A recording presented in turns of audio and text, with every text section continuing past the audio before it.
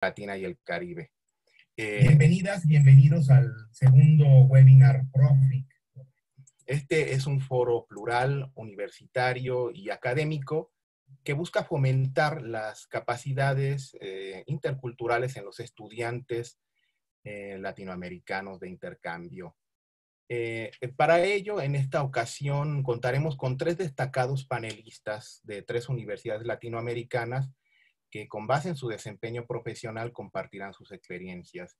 Y al finalizar este webinar, el doctor Roberto Escalante Semerena, secretario general de la UDUAL, eh, hará unos comentarios finales. Em, los invito a todos ustedes a participar a través de, nuestro chat, eh, de nuestro chat en vivo, eh, a, través del cual ustedes pueden hacer las preguntas a nuestros queridísimos panelistas. Vamos a empezar con el maestro Iván Vigas, quien es licenciado en Ciencia Política con orientación en Relaciones Internacionales por la Universidad de Buenos Aires.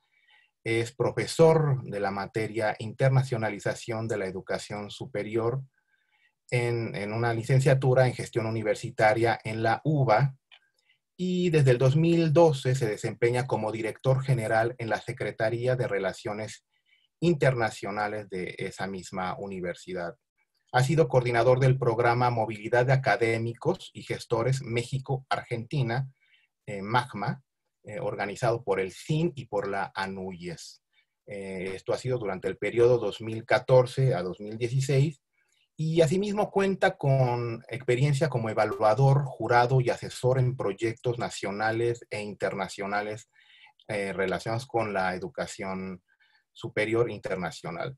Realizó diversos cursos de posgrado en temáticas relacionadas con la internacionalización de la educación superior y relaciones internacionales, también con énfasis hacia Pacífico, y ha participado en el grupo de investigadores del Este Asiático, Instituto de Investigaciones Gino Germany, de la Facultad de Ciencias Sociales de la UBA, y ha dictado clases en el seminario Introducción al Estudio de China Contemporánea en la Universidad Provincial de Ezeiza. Iván, muchísimas gracias por tu participación en este webinar y te cedemos la palabra. Bueno, muchas gracias, eh, Fernando, por, la introducción. Eh, quisiera también empezar agradeciendo primero a, la UDUAL, eh, al doctor Escalante, por, la, invitación a, participar de este, de este evento, este webinar que para para nosotros como U y particularmente para mí es eh, más que importante poder tener estos espacios para debatir y, compartir nuestras experiencias. También quisiera eh, agradecer a, mis colegas que hoy vamos a, tener el gusto de escuchar, a la doctora Rebeca y a la doctora Blanca, y particularmente también a la gente del Centro Universitario Lagos, a, una querida amiga como Alma también, Alma Rangel, que fue a partir de ella que también pudimos eh, obtener la invitación. Y también quisiera agradecer eh, al rector de la Universidad de Buenos Aires, al doctor Barbieri, al, secretario de Relaciones Internacionales, eh, Gabriel Capitelli, a nuestro subsecretario de Asuntos Internacionales, Patricio Conejero, quienes eh, también me, me, brindaron su apoyo y con quienes también vimos a través de otros webinars aquí en la participación. Y en ese sentido me gustaría poder complementar eh, un poco nuestra, nuestra visión desde Argentina y particularmente de la Universidad de Buenos Aires. Para ello voy a hacer una presentación de, un PowerPoint que elaboré para que podamos ver un poco esta cuestión que, nos convoca hoy, que tiene que ver con la internacionalización y la interculturalidad, eh, en, por lo menos en la experiencia de la Universidad de Buenos Aires. Para poder comenzar me gustaría contextualizar a nuestra universidad, teniendo en cuenta que digamos, esto va a ser muy importante para poder entender cuáles son las lógicas y el trabajo que venimos desarrollando. Por un lado, eh, como ven, es una comunidad universitaria grande, muy grande de hecho. Nosotros tenemos alrededor de 312.000 estudiantes de grado, 28.000 estudiantes de posgrado, 31.500 docentes, 6.000 estudiantes de, de secundaria, de escuelas secundarias, tenemos un personal no docente, que es el gestor de universidad de alrededor de 15.000 eh, personas. Por otro lado, tenemos una oferta académica muy amplia, desde 100 eh, carreras de grado y 500 carreras de posgrado. Al mismo tiempo, tenemos un enfoque muy importante en lo que es, mm, por supuesto, no solo la, parte de formación y académica, ¿no? y ser un referente nacional e internacional en ese sentido, sino que también hay un foco muy fuerte en la investigación, eh, resulta de ello también los premios Nobel que tuvimos en, las ciencias duras, pero también el compromiso con la, con, la formación de, ciudadanos, eh, y eso también lo, lo, muestra nuestros premios Nobel de la Paz. Tenemos 61 eh, institutos de investigación, 14 museos, somos una comunidad de 13 facultades que abarcan todas las áreas de las ciencias. tenemos seis escuelas secundarias y un complejo de seis hospitales. En cuanto a nuestra experiencia en la ciencia y la tecnología, eh, hay más de 2.000 grupos de investigación en la universidad, tenemos eh, casi 12.500 eh, investigadores radicados en la UBA, tanto formados como en formación, y damos también apoyo a través de becas de investigación y formación. un centro importante que sobre todo en la pandemia fue clave es el Centro de Innovación Tecnológica y Pedagógica, que permite y está trabajando constantemente en, la, en dar herramientas tecnológicas para la formación pedagógica y para tener herramientas de innovación en, materia eh, de formación docente y de estudiantes. Y por nuestro aspecto de la experiencia en, en la extensión, podemos hablar de nuestro Centro Cultural Rojas, que tiene alrededor de 130.000 personas que año a año van cursando diferentes talleres y experiencias que tienen que ver en este vínculo de la universidad con la comunidad. Es importante para nosotros eh, también destacar cuáles son, el, cuál sigue siendo, ya desde, desde estos 200 años de historia que tiene la universidad, cumplirá el año que viene sus 200 años, pero para nosotros es clave y es muy importante también para, lo que vamos a, conversar, el compromiso y la vigencia que todavía tiene estos valores fundantes de la propia universidad. Por supuesto, seguimos eh, como universidad con una defensa irrestricta a los principios de la, universidad pública, autónoma, gratuita y co-gobernada, como parte fundante de nuestra, de nuestra razón de ser en, la, sociedad. Por otro lado, también eh, eh, somos eh, férreos defensores de la educación superior como un derecho humano, un bien público y social y un, deber de los estados. Asimismo, y por supuesto por nuestra razón de ser, la calidad académica es parte fundacional y fundamental de la universidad y en ese sentido también la investigación y la generación del conocimiento es parte fundamental del desarrollo de esa calidad académica. También el contexto y la relación con la sociedad no es ajena y sobre todo para nosotros, eh, con esta calidad de, ser una universidad pública y abocada también a, una función social, creemos que la transferencia del conocimiento que se produce en, nuestra, en nuestras eh, aulas y en nuestros centros de investigación es clave y es necesario de trabajar con la, sociedad y en ese sentido trabajamos mucho.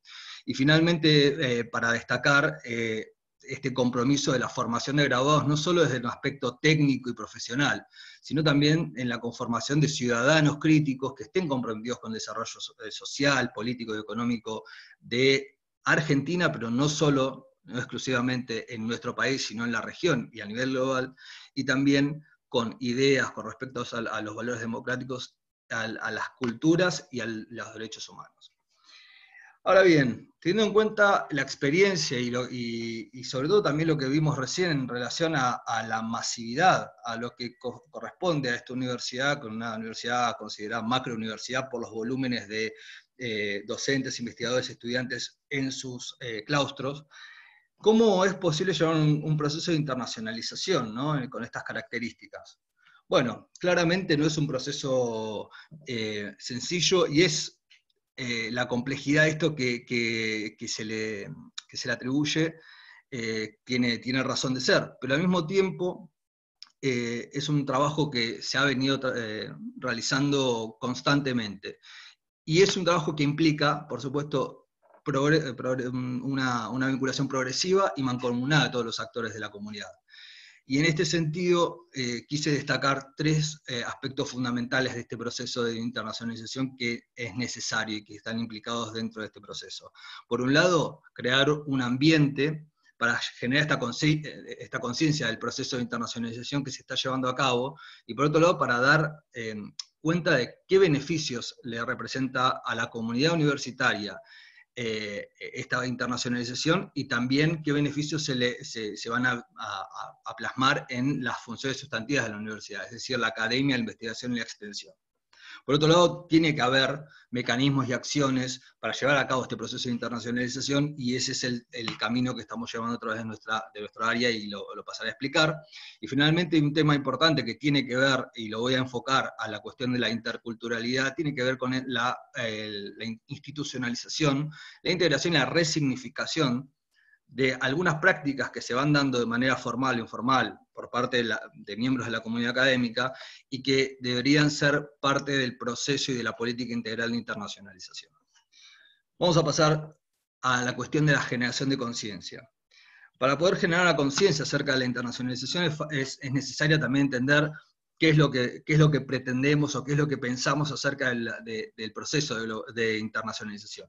Y en ese sentido, la globalización como fenómeno eh, abarcativo de las sociedades contemporáneas, también afecta de alguna manera a la, universidad y a la educación superior en, general. Y en ese sentido, creemos que en este, en este mundo tan interconectado, tan, tan complejo y tan, tan interdependiente eh, entre los países, claramente estas oportunidades y desafíos que se van a dar en el ámbito de la educación superior y no, y fuera también del ámbito, eh, es eh, clave y además es necesario que las universidades sean parte de este, que tengan este rol de liderazgo para poder promover una, integración, un intercambio en este, en este sentido, ¿no? para, para contrastar los efectos negativos y para potenciar los efectos positivos de la globalización.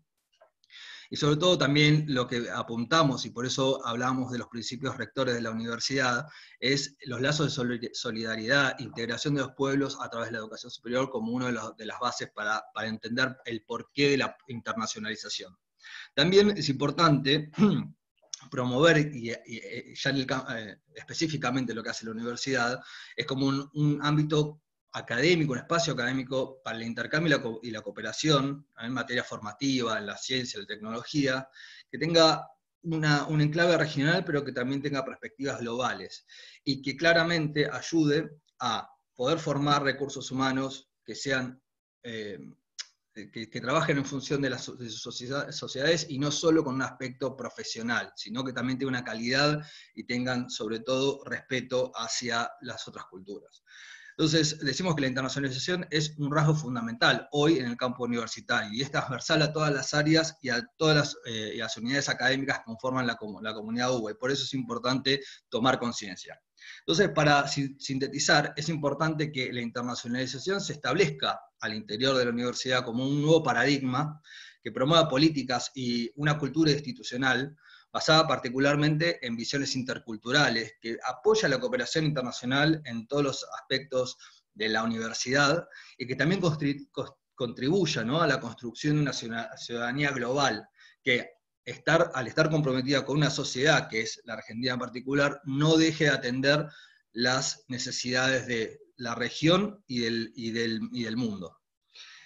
Eh, lo importante para nosotros eh, en este sentido, esta, esta toma de conciencia, es que de a poco, esto progresivamente en los años, ¿no? hace tiempo que trabajo en la, en la universidad y he podido palpar que efectivamente y progresivamente se fue tomando la conciencia de acerca de la importancia de la internacionalización. Y hoy llegamos en un momento que desde las altas esferas, los funcionarios de la, de la, universidad, pero también los docentes y los no docentes, hacen ecos, toman para sí la cuestión de la, de, la, necesidad de estar vinculada a la universidad a un contexto no solo local, sino también global. Y también hay una demanda por parte de los estudiantes para poder requerir y tener esta formación que les permita eh, manejarse en este mundo que es tan interdependiente y que necesita competencias que no se ciñan a, una, a, un, a un ámbito básicamente nacional. Y en ese sentido también, que es algo para destacar y me parece muy importante, es que no solo eh, en términos de prácticos o de gestión, sino que también la internacionalización se constituyó como un objeto de estudio en sí mismo en al, interior de la universidad y hoy eh, investigaciones y también materias como la que, de la que soy parte yo, se empieza a trabajar de manera teórica eh, la cuestión de la internacionalización. Y es fundamental para poder también contribuir y complementar las acciones que se llevan a cabo. Ahora bien, estas acciones, particularmente, ¿de qué hablamos cuando hablamos de mecanismos y acciones? Bueno, en este mundo y en esta situación de la complejidad y la dinámica que lleva la internacionalización al interior de la universidad, es necesario, por un lado, el compromiso de toda la comunidad para que se desarrolle y sea viable la internacionalización, pero también se necesita una instancia ejecutora que permita eh, llevar adelante este proceso. Y ese sentido es nuestra tarea en la Secretaría de Relaciones Internacionales. ¿no? Somos el, el área mediante la cual podemos canalizar, asesorar, coordinar, intermediar y vincular a la universidad con este proceso de internacionalización.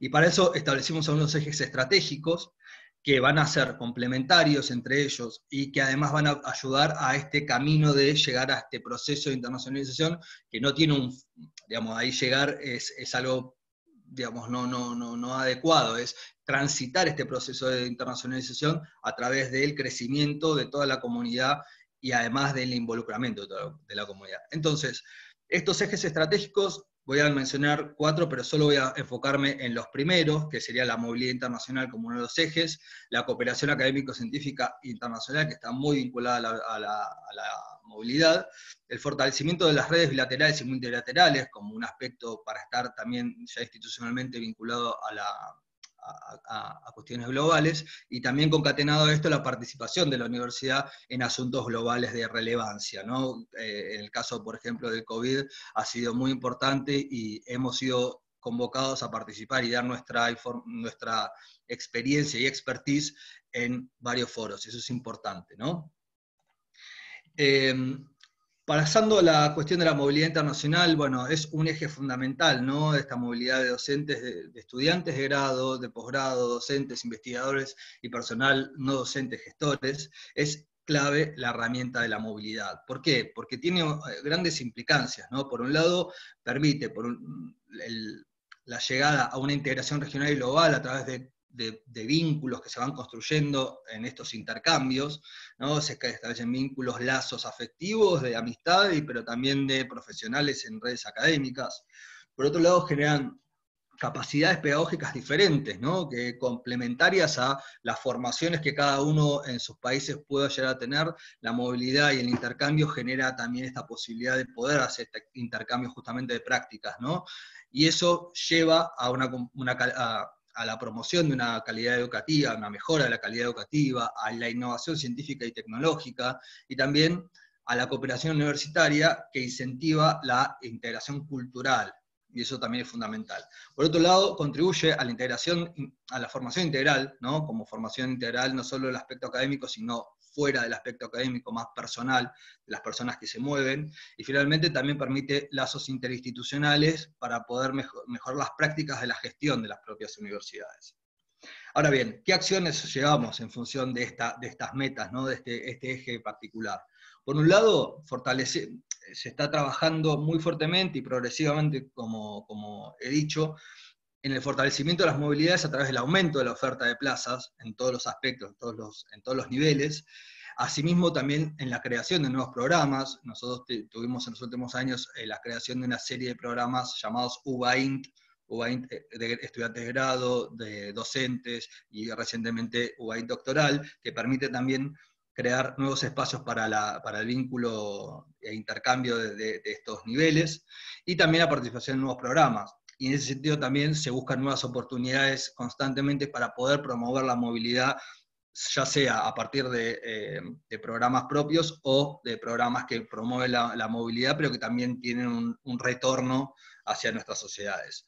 Por otro lado, y esto es muy importante en, función a, la, realidad masiva que, es, que tiene la universidad en cuanto a su, comunidad, eh, la mejora y la potenciación de los mecanismos de fusión es clave para poder llegar a más, a más personas que tengan la oportunidad también de realizar esta experiencia de movilidad y también de alguna manera democratizar la internacionalización, que como todos sabemos los que estamos aquí, es un proceso eh, que de a poco se va tratando de llegar a más, a, más personas, pero que en un principio fue muy restringida, no quiero decir elitista porque por suerte hay, mecanismos que lo permiten movilizarse, pero bueno, que, ha restringido en un grupo muy pequeño. Entonces esa es la idea, ¿no? Empezar a difundir, democratizar y ampliar.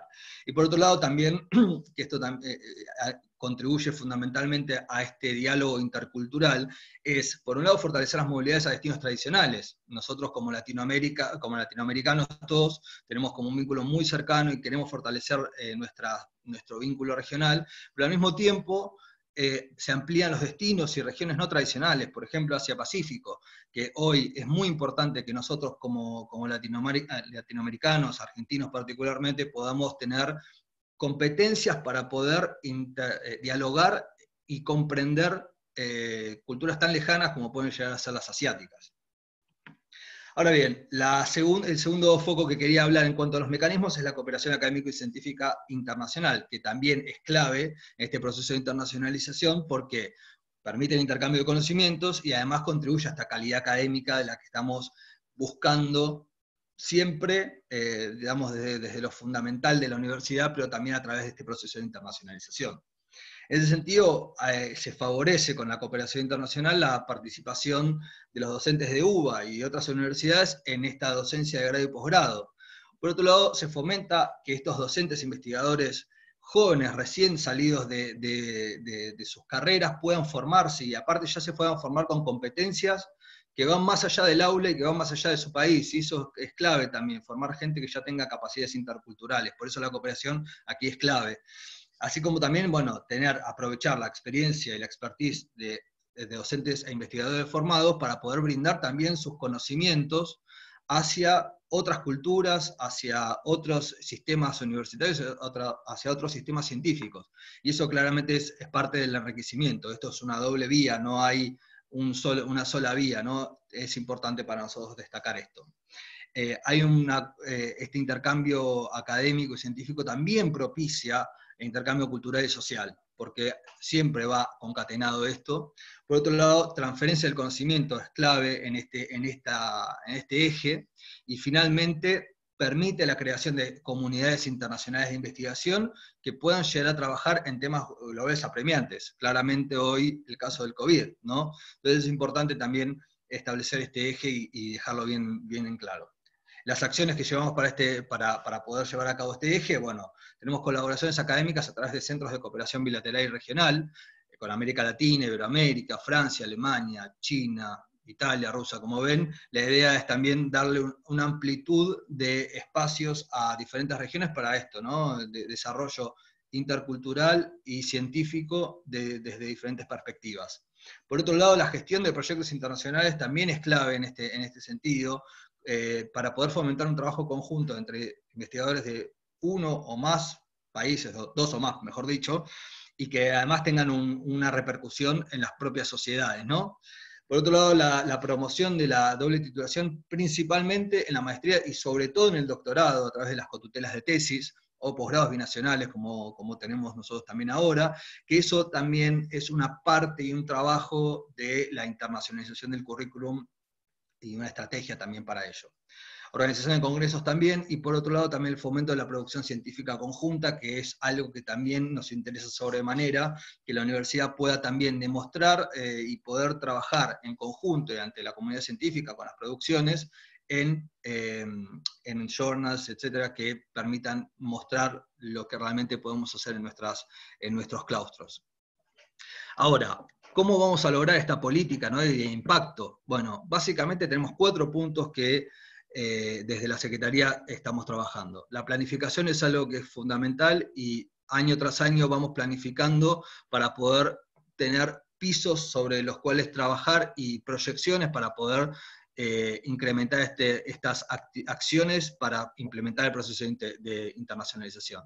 La inversión también es algo fundamental y que también progresivamente hemos podido conseguir, conforme también se toma conciencia de la importancia de la internacionalización, más fondos para poder también garantizar mayor acceso a, los, eh, a las personas de la comunidad UBA a una experiencia internacional.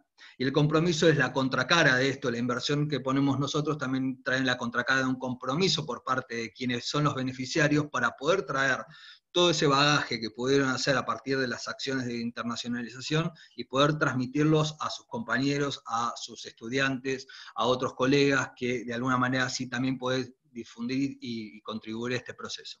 La reglamentación es otro de los temas clave que también trabajamos en estos últimos años, dar todo lo que trabajamos en la internacionalización, darle un correlato en la aprobación de resoluciones del Consejo Superior de la, de la Universidad, para poder asentar las bases y darle continuidad en el tiempo. Y por otro lado, como ya lo mencioné, la comunicación. Ante un, público tan extenso, la, la, comunicación es un tema fundamental del cual estamos tomando acciones para poder llegar a más personas. Finalmente, el tema de, fomentar la institucionalización, integración, este, este, este, título un poco largo, pero que realmente queríamos dar cuenta particularmente acá de, cosas que van quedando, de acciones que se van dando eh, al, interior de, las, de, la, universidad de manera no, no organizada, de manera personal, a veces formal o a veces informalmente, con instituciones o personas de, otros países, y que realmente creemos que es importante que estén institucionalizadas, integradas y, eh, al mismo tiempo resignificadas dentro de la política de internacionalización. Un caso que, no va, por ejemplo, es eh, cuando los docentes o investigadores hacen eh, colaboraciones entre pares pero sin un vínculo institucional. Eh, ese sería como una especie de, falta de institucionalización de algunas acciones concretas. Pero lo que me quiero referir yo particularmente en este caso es la cuestión de la interculturalidad que se da al interior de la universidad. Para nosotros la interculturalidad, en este caso, entendido como eh, este diálogo entre las culturas ¿no? y esta, interacción y diálogo y la, posibilidad de expresarse en ese sentido e intercambiar estas, estas, eh, estas formas de vida, estas, estas culturas, ¿no? es algo inherente dentro de la Universidad de Buenos Aires. Si nosotros pensamos en, los 200 años de historia de la misma, eh, vemos que es una universidad, eh, también por estar en, la, capital de la, de, la, de, la, nación, de Argentina, es una, una universidad que acogió y acoge todavía hoy personas de todo el país que vienen con sus culturas también internas al interior de Argentina, que tenemos muchas culturas y que enriquecen también al bagaje cultural argentino. Eh, y además, eh, fue alma mater y sigue siendo alma mater de muchos inmigrantes e hijos de inmigrantes en esa época, que también se formaron en, la universidad y que también tenían un bagaje cultural totalmente diferente a lo que podíamos decir la argentinidad, por decirlo de alguna manera. Esto es importante también traerlo a colación y resignificarlo, porque, y ahí, ahí voy a trabajarlo después. Hoy, en la actualidad, estamos eh, con una progresiva recepción de estudiantes eh, internacionales que vienen específicamente a estudiar a diferencia de lo que eran los, inmigrantes, que quizás venían por otras, por otras razones, ¿no? venían más por una, cuestión de progreso personal, este caso particularmente es a estudiar. Y en este sentido quería mostrar eh, unos datos del 2018, además de estos aproximadamente 3.000 intercambios que nosotros tenemos a nivel, eh, anuales, ¿no? entre programas nuestros, programas de las facultades y free movers, tenemos estudiantes que vienen de tiempo completo, y acá los números, ¿no? Tenemos eh, estudiantes extranjeros de grado. El año 2018 correspondían al 7,8% de los totales, pero ven que son 24.000, casi 500 estudiantes internacionales en la UBA. Y en el caso de los extranjeros de posgrado es el 16% y corresponden a 4.500 estudiantes extranjeros en las aulas de la universidad. Es un número para mí, para, digamos, en comparación, digo, si vemos los porcentajes, por ahí no es mucho, pero la realidad es que son muchos estudiantes extranjeros estudiando y viviendo en Argentina, y por lo tanto creemos que es fundamental poder tener esto, esto en cuenta para tener esta parte, la resignificación de la interculturalidad. ¿no? Creo que hay que aprovechar esta, este, este, esta presencia de estudiantes extranjeros en las aulas y la multiculturalidad que le da, ¿no? Para poder aprovecharlo de una manera que deje de ser algo como una mera coexistencia y, un vínculo cotidiano, a ser parte del proceso formativo y educativo. Y eso es importante tenerlo en cuenta y eso es la resignificación de esta multiculturalidad que se da inherente a la, universidad. Por otro lado, esto de la formación de estos ambientes multiculturales va a contribuir definitivamente a que estos estudiantes adquieran una conciencia de asuntos globales y que puedan tener otras herramientas teóricas, prácticas y comunicacionales para poder desenvolverse como profesionales en este mundo que es cambiante, interdependiente y cada vez más cercano en términos de, eh, de, cómo estamos trabajando con otras culturas. Por lo tanto, eh, la, la resignificación va a dar a los graduados y a, las graduadas ¿no? este conocimiento científico no solo de profesional y académico, sino también la posibilidad de formarlos como ciudadanos o ciudadanas globales, con espíritu crítico, pero muy respetuosos de las culturas que, eh, con las que interactúan. Profesor, sí. profesor Vigas, disculpe, eh, le agradeceríamos que fuera concluyendo su presentación para dar paso a, a las siguientes. Perfecto. Gracias, Fernando. Igual, justamente estoy concluyendo con esto, ¿no? Las perspectivas y desafíos que tenemos eh, por delante. Por un lado, creemos que la conciencia, hay que lograr mayor conciencia todavía entre la comunidad acerca del proceso de internacionalización, sus beneficios, sus dificultades, pero es importante apuntar a eso. Por otro lado, y esto va relacionado con lo, anterior, tiene que haber una profundización en las estrategias de implementación de la, internacionalización, tanto a nivel macro, con diseño de políticas, como en la estructura curricular, como los enfoques en los cuales se enseña en la universidad. Por otro lado, hay que buscar formas innovadoras de colaboración que superen dificultades presupuestarias, que las hay siempre, y no presupuestarias, como el caso ahora del COVID, y por eso es importante buscar metodologías para la internacionalización en casa, la movilidad virtual como se está desarrollando ahora, eh, mayores oportunidades para los científicos de UBA, para poder estar dentro de los centros de investigación, para poder también compartir los resultados y ser escuchados en ese sentido. Por otro lado, inculcar un mayor involucramiento de los docentes, y esto es clave, en, incorporar los componentes internacionales e interculturales en sus prácticas de formación y de investigación, y eso va a requerir claramente políticas de formación. Y finalmente, ayudar a contribuir a los gobiernos a crear una identidad regional, particularmente porque es importantísima para poder ser un punto de partida para una ciudadanía global. Muchísimas gracias a todos. Muchísimas gracias, Iván, por tu tiempo, por tu presentación. Y ahora vamos a, dar la palabra a la doctora Rebeca García Corso. Ella es licenciada en Historia y maestra en Historia de México por la Universidad, Universidad de Guadalajara y doctora en Historia Moderna y Contemporánea por la Universidad de Oviedo en España. Su tesis doctoral obtuvo mención de calidad internacional y cum laude. Es miembro del Sistema Nacional de Investigadores, del Consejo Nacional de Ciencia y Tecnología y profesor con perfil deseable otorgado por la Secretaría eh, de Educación Pública de México. Trabaja en la Universidad de Guadalajara desde el 2002 y está adscrita al Departamento de Historia.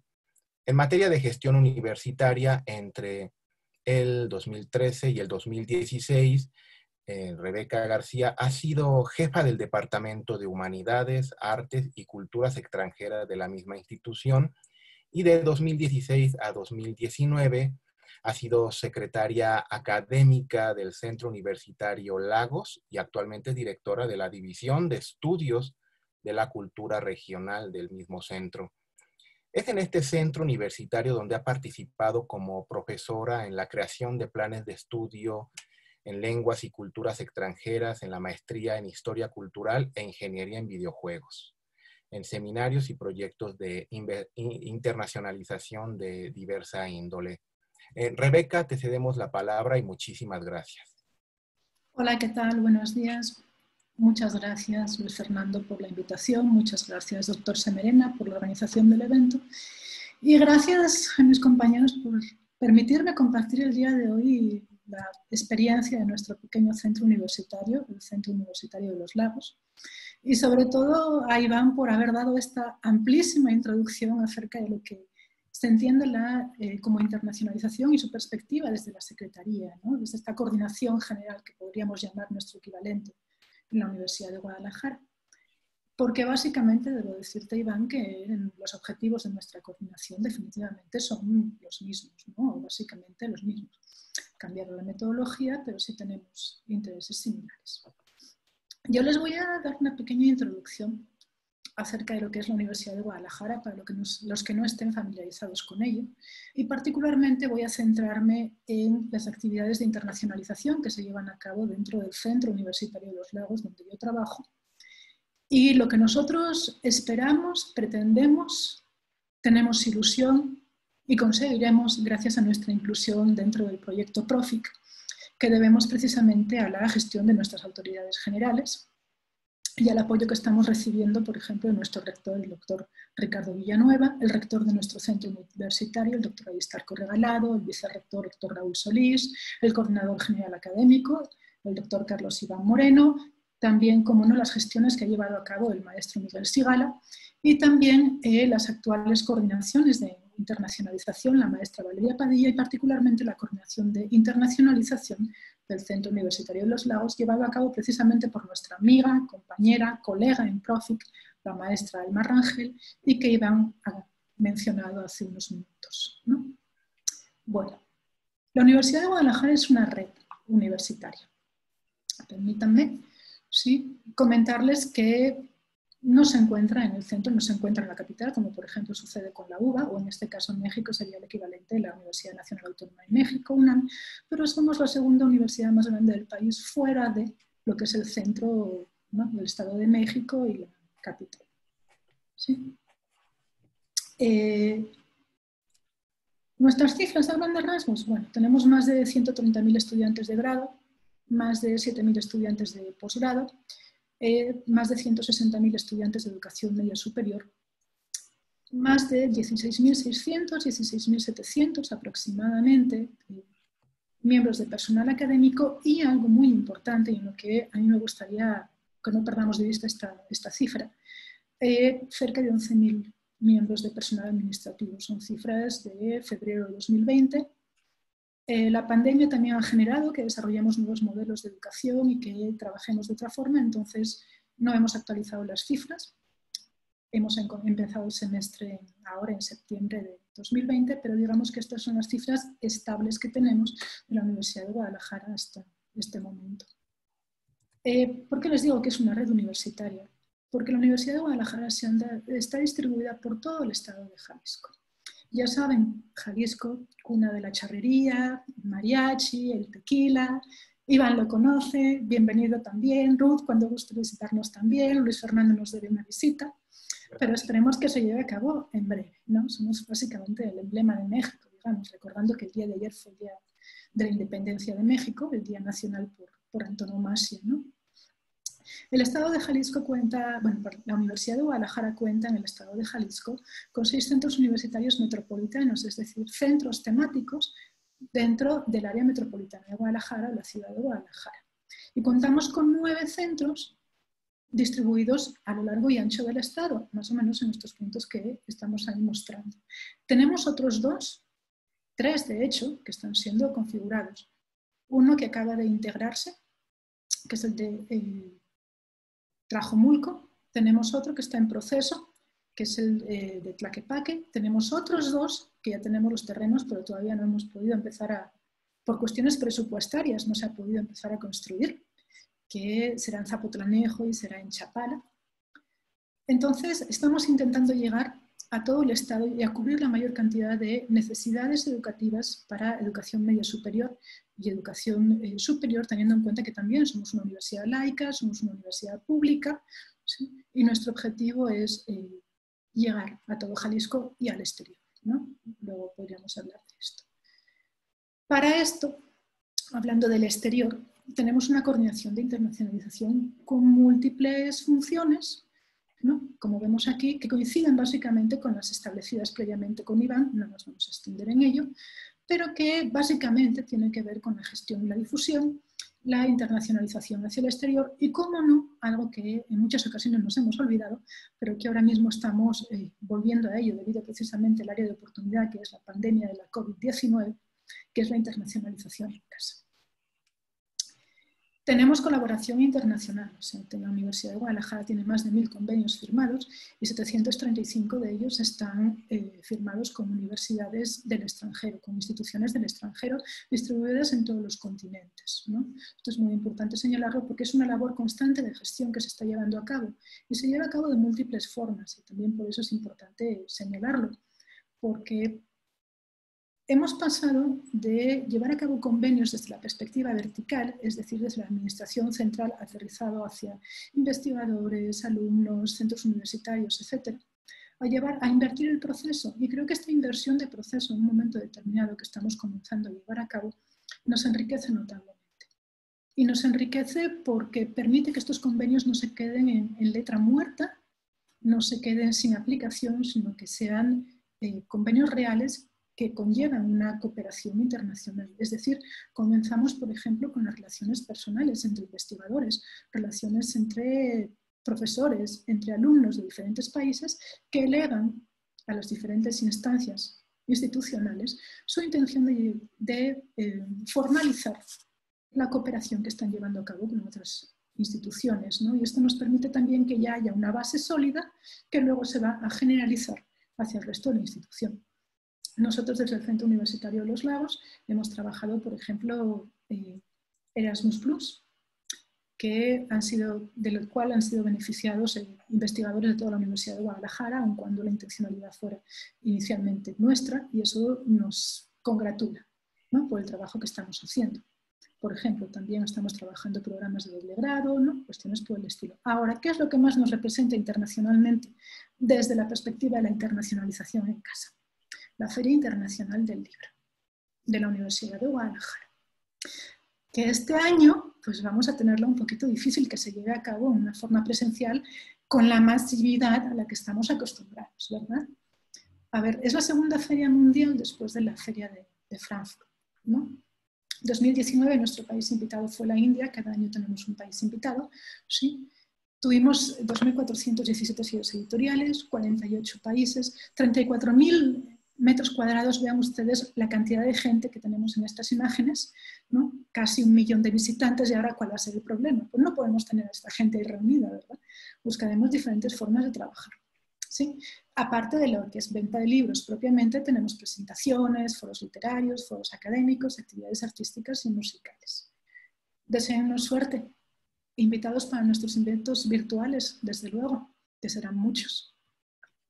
Ahora, el Centro Universitario de los Lagos. Es un pequeño centro universitario regional situado en el norte del estado de Jalisco, en la confluencia, o digamos que en lo que se conoce como Ruta de la Plata, o se conocía como Ruta de la Plata durante la colonia, y estamos pegados a, otros estados del país, lo que también nos permite una riqueza enorme. ¿no? Estamos cerca de Aguascalientes, cerca de San Luis Potosí y estamos cerca de Guanajuato. Esto nos permite también recibir constantemente alumnos de otros estados y no únicamente de, Jalisco. ¿no? A pesar de que somos un centro universitario pequeño, somos un centro multicultural. A grandes rasgos, ¿qué tenemos? Pues tenemos 15 programas de grado, son 2.800 eh, estudiantes aproximadamente, ya han subido un poquito.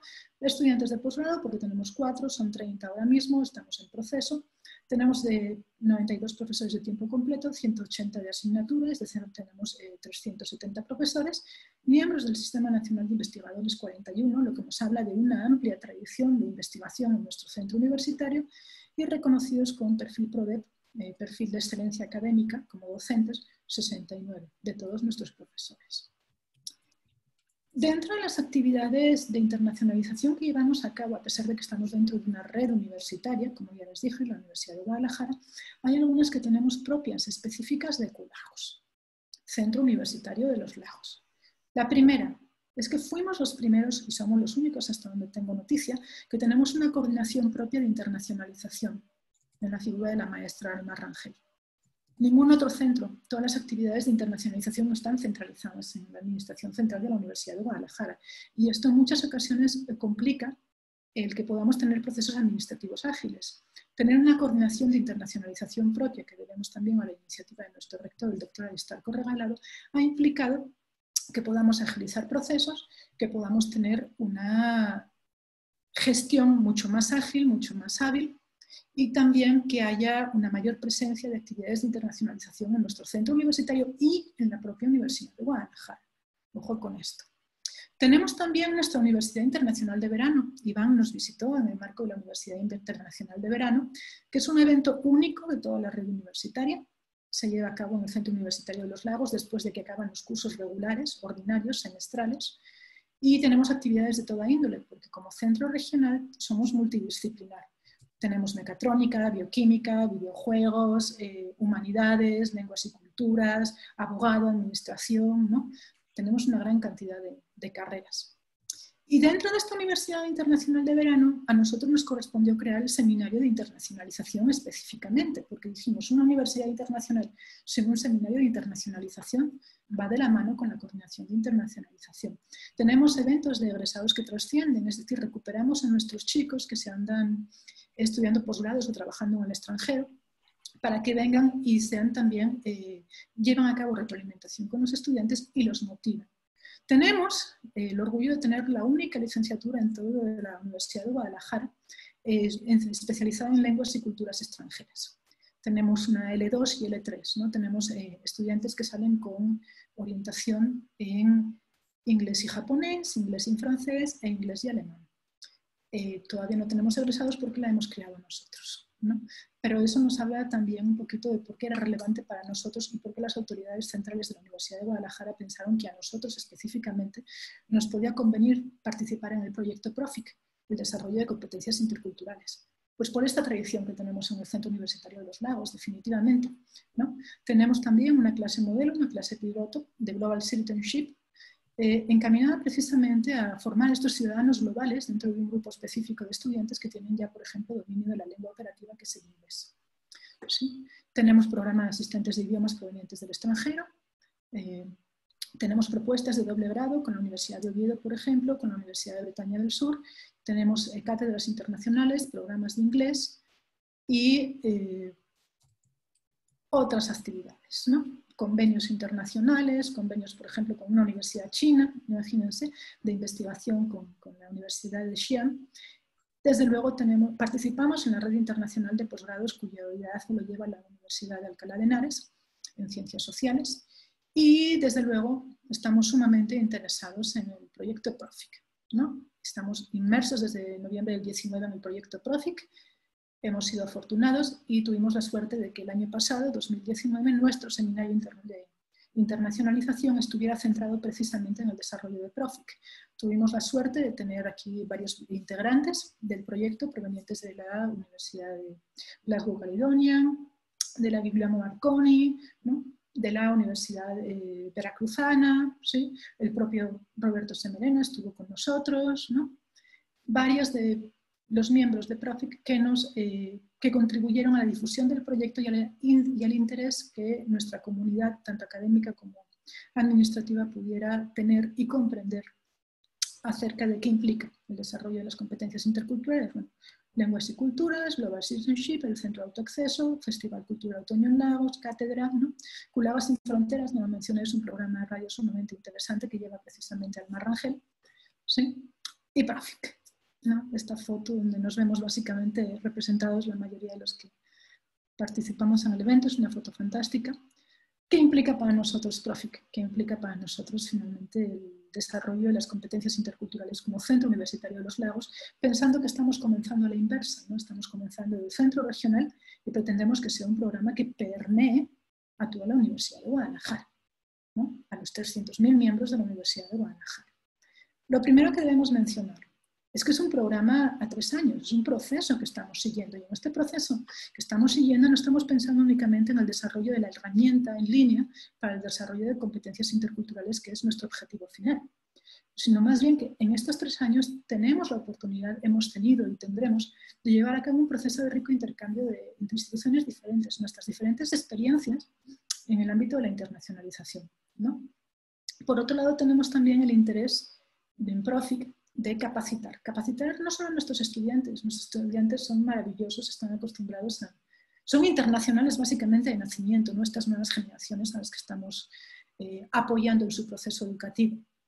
Sino más bien nosotros, nosotros los profesores, nosotros los académicos, nosotros los administrativos, necesitamos eh, fortalecernos en el ámbito de las competencias interculturales, tanto para recibir a la gente como para proyectar a la gente. Y estamos buscando también que esta capacitación implique esa verticalidad invertida, necesidades generales, específicas del trabajo de campo, de las actividades cotidianas que se eleven hacia estas competencias interculturales que se pretende desarrollar con el proyecto PROFIC. ¿no? Eh, siempre pensamos, cuando pensamos en una universidad, no sé por qué tenemos la costumbre de pensar básicamente en profesores y en alumnos, pero recuerden lo que les comenté, en la Universidad de Guadalajara tenemos más de 10.000 personas en el ámbito administrativo trabajando. Y sus actividades diarias de oficina en muchas ocasiones se ven inmersas en el proceso transversal de, internacionalización que forma parte esencial de las áreas de nuestra universidad. Tenemos que capacitarnos, tenemos que trabajar juntos para ellos. ¿Y qué implica esto? ¿No? El estar constantemente en un proceso dinámico, un proceso cambiante, con base en observaciones de campo, tanto del propio proyecto como de nosotros como funcionarios, seamos funcionarios de alto nivel, seamos funcionarios intermedios. ¿sí? Eh, y sobre todo tenemos que convencer a la gente de que se inserte en este proceso. Porque muchos de ellos no están conscientes de la necesidad de desarrollar estas capacidades interculturales hasta que se encuentran en un problema. ¿Sí? Ojo con esto. Hasta que tienen un problema, hasta que tienen una situación específica y dicen, lo necesito. Nosotros estamos intentando prever esto con base en Profit. ¿Y por qué también esto lo comento? Porque nos ha pasado algo muy simpático a lo largo del propio proyecto de Profit. Iván lo decía, en la UBA tenemos interculturalidad interna. ¿no? Argentinas, muchas argentinas. Honestamente, México es muchos Méxicos. En la Universidad de Guadalajara son muchas Méxicos también. Tenemos una comunidad indígena muy fuerte, por ejemplo, en el centro universitario de Colotlán. ¿no? Tenemos la comunidad huirrárica. Debemos trabajar con ellos constantemente. Pero también tenemos a todos nuestros estudiantes que provienen de diferentes espacios del propio México y también estudiantes que provienen del extranjero. ¿sí? Ojo con esto. Tenemos que trabajar con ellos, adaptarnos con ellos e entenderlos a ellos. Ahora, ¿qué implica también Profic? También a lo largo de Profic estamos viendo una modificación el propio proyecto porque la pandemia, la COVID-19, nos está brindando también oportunidades. ¿Y qué oportunidades son estas? Fortalecer la internacionalización desde casa o en casa. ¿no? La internacionalización de actividades académicas, cursos espejo, la movilidad virtual, que es un fenómeno que apenas estamos explorando en la Universidad de Guadalajara. Creo que a veces vamos un poquito por detrás, ¿no? Nos están ganando las circunstancias y somos reactivos. Y eso creo que Profit nos está brindando esta oportunidad, por cómo estamos desarrollando las actividades y por cómo tenemos que pensar la herramienta. La herramienta habíamos pensado para aplicarla in situ, en clases presenciales. Sin embargo, ahora estamos modificando, estamos viendo cómo llegamos al ámbito de la virtualidad. Eh, nuestro objetivo en la Universidad de Guadalajara es la aplicación del aprendizaje centrado en el estudiante. ¿sí? Pero la interculturalidad tiene que ser una herramienta transversal de trabajo, en el que eh, tanto estudiantes como profesores llevemos a cabo este intercambio constante y esta retroalimentación en la que también partamos de la idea de que el profesor no es el la persona que, la persona que sabe todo y que conduce únicamente la clase, sino que también se nutre del aprendizaje que pueda surgir a través del desarrollo de habilidades y competencias del estudiante. ¿Qué implica también para nosotros? ¿no? Entender la interculturalidad de los países latinoamericanos y también, como decía Iván, y por eso digo qué bueno que Iván lo comentó, una mayor interacción regional. Debo comentar que la Universidad de Guadalajara, nuestros estudiantes, bueno, por nuestra propia ubicación, México, con la frontera norte, eh, van mucho hacia Estados Unidos o van muchos también hacia Europa y particularmente España porque eh, la facilidad del dominio idiomático. Sin embargo, tenemos que ver hacia, eh, Centroamérica y Sudamérica. ¿no? Yo creo que tenemos que fortalecer mucho más la interacción regional y Profit nos está brindando esa oportunidad. A ver, somos siete países latinoamericanos, perdón, siete universidades latinoamericanas provenientes básicamente de, de tres países, ¿no? Argentina, México y El Salvador. Estamos trabajando de la mano con la URUAL ¿sí?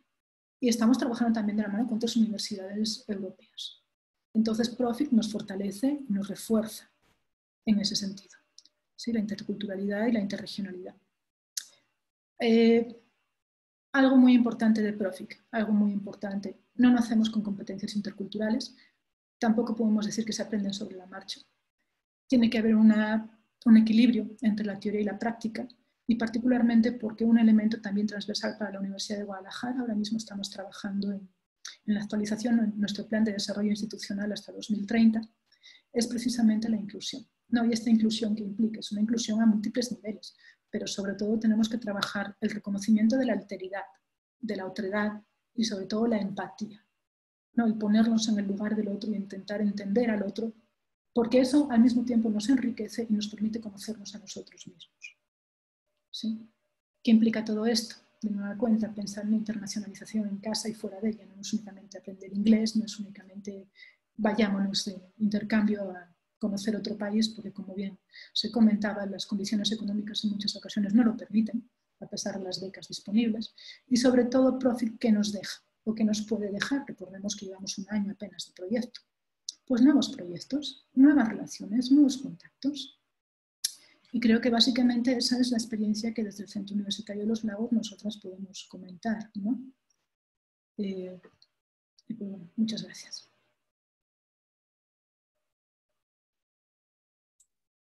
Muchísimas gracias, Rebeca. En verdad estamos muy agradecidos contigo por todas tus aportaciones al Audual, pero sobre todo al Profic y por estar aquí presente en este webinar. Y eh, quisiera leer algunos saludos que ha estado muy activo el chat y el Facebook de esta sesión.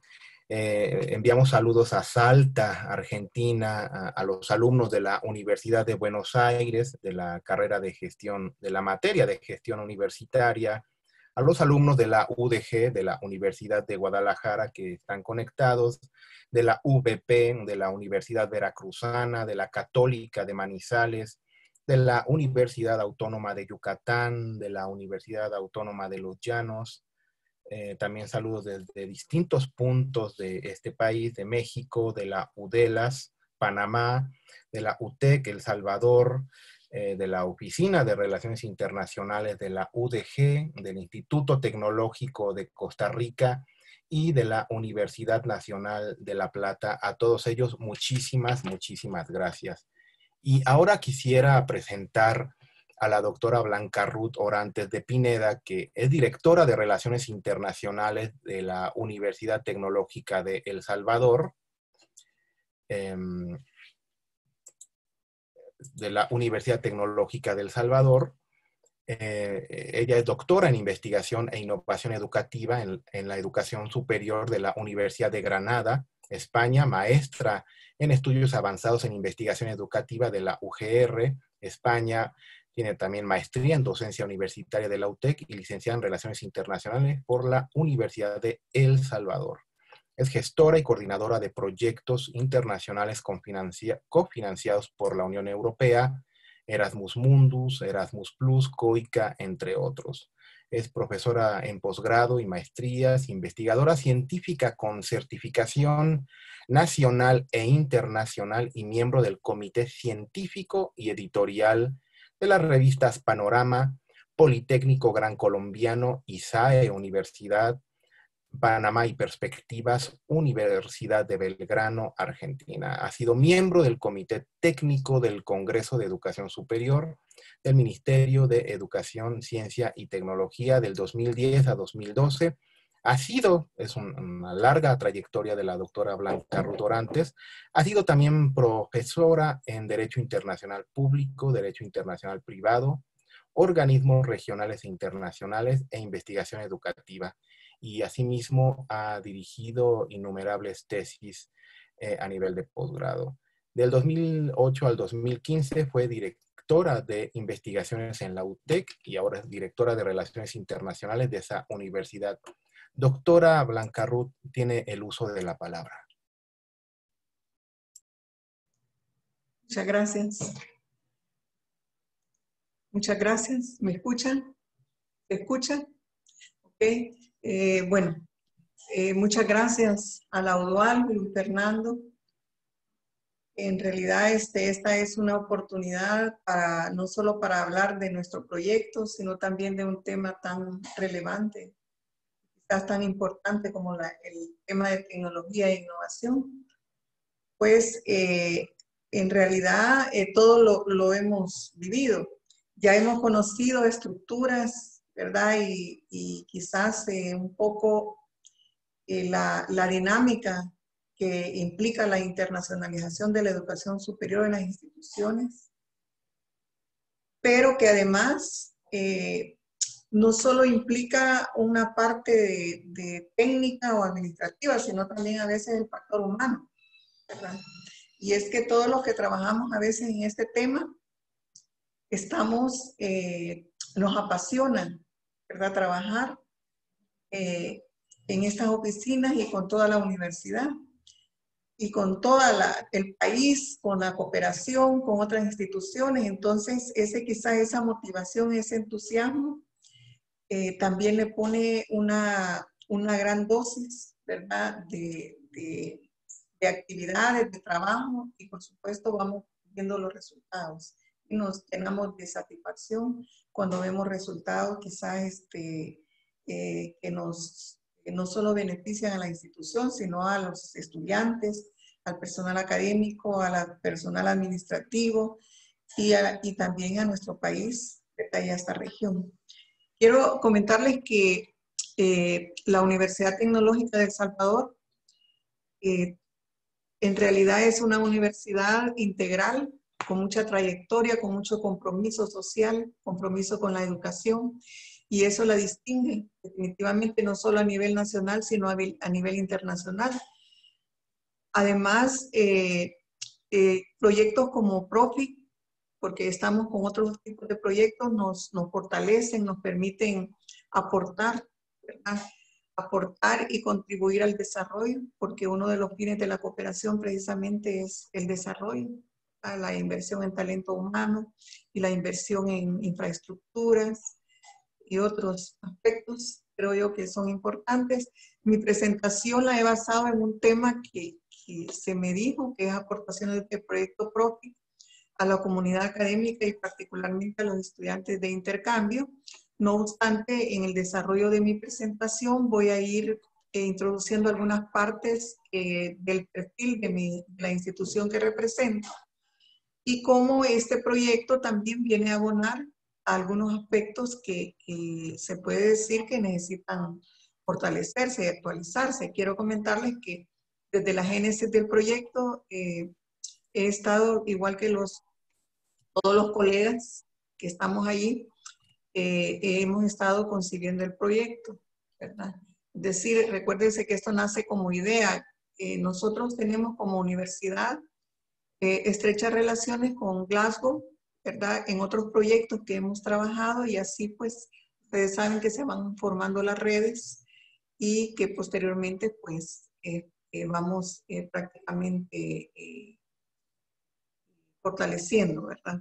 Entonces, el, voy a, a partir de un análisis del proyecto, como les decía, pero voy a ir introduciendo algunos aspectos importantes de, mi universidad, de, mi país. Eh, sin duda, cuando concebimos el proyecto, identificábamos algunas situaciones que, que hemos ido adecuando, ¿verdad? La concepción del, del proyecto estaba basada en resultados, o sea, llegar a resultados que nos, nos favorezcan. Y eh, solamente he identificado dos que, que, hay más, ¿verdad? Pero que yo creo que son importantes eh, explicarlo.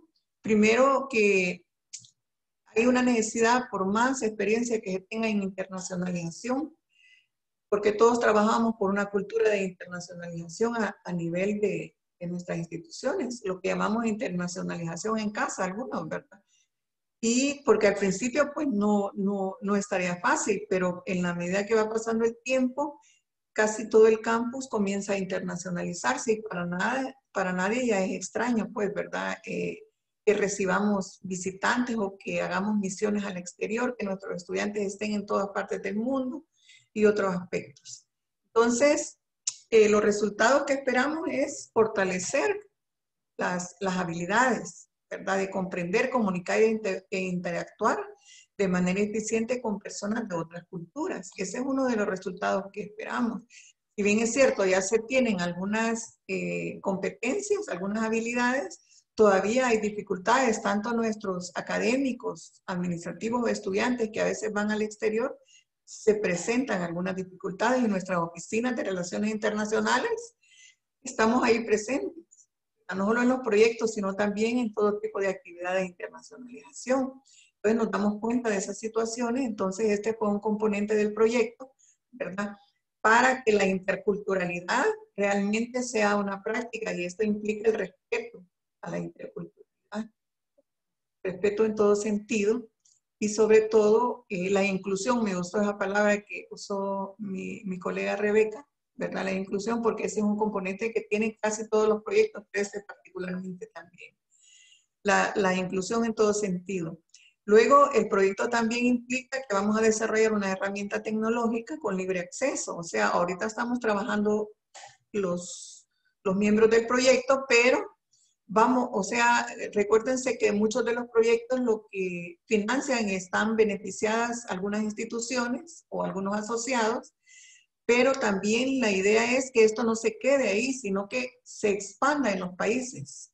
Entonces, se supone que las capacidades que vamos a generar no solo van a beneficiar a nuestras comunidades académicas, sino también a otras, a otras instituciones, o a, otras, a otros estudiantes, a otros profesores administrativos. Entonces, esta va a ser una capacidad generada por el proyecto, ¿verdad?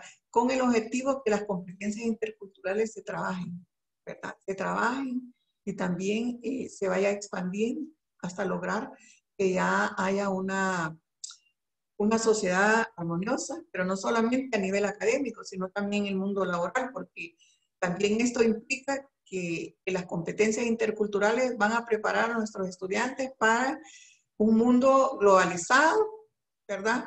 Pero un mundo también eh, en el cual hay encuentros interculturales, los ambientes laborales, y ya no solo de, de, que porque van a trasladarse al país, hoy con el COVID, también virtuales. Bueno, ya existían, ¿verdad? Pero hoy se han fortalecido más. Es más, ya la movilidad ya no solo va a ser presencial, sino también virtual, ya se está dando, ¿verdad? Ya se está dando. nosotros pertenecemos a otras redes, ya estamos trabajando en ello.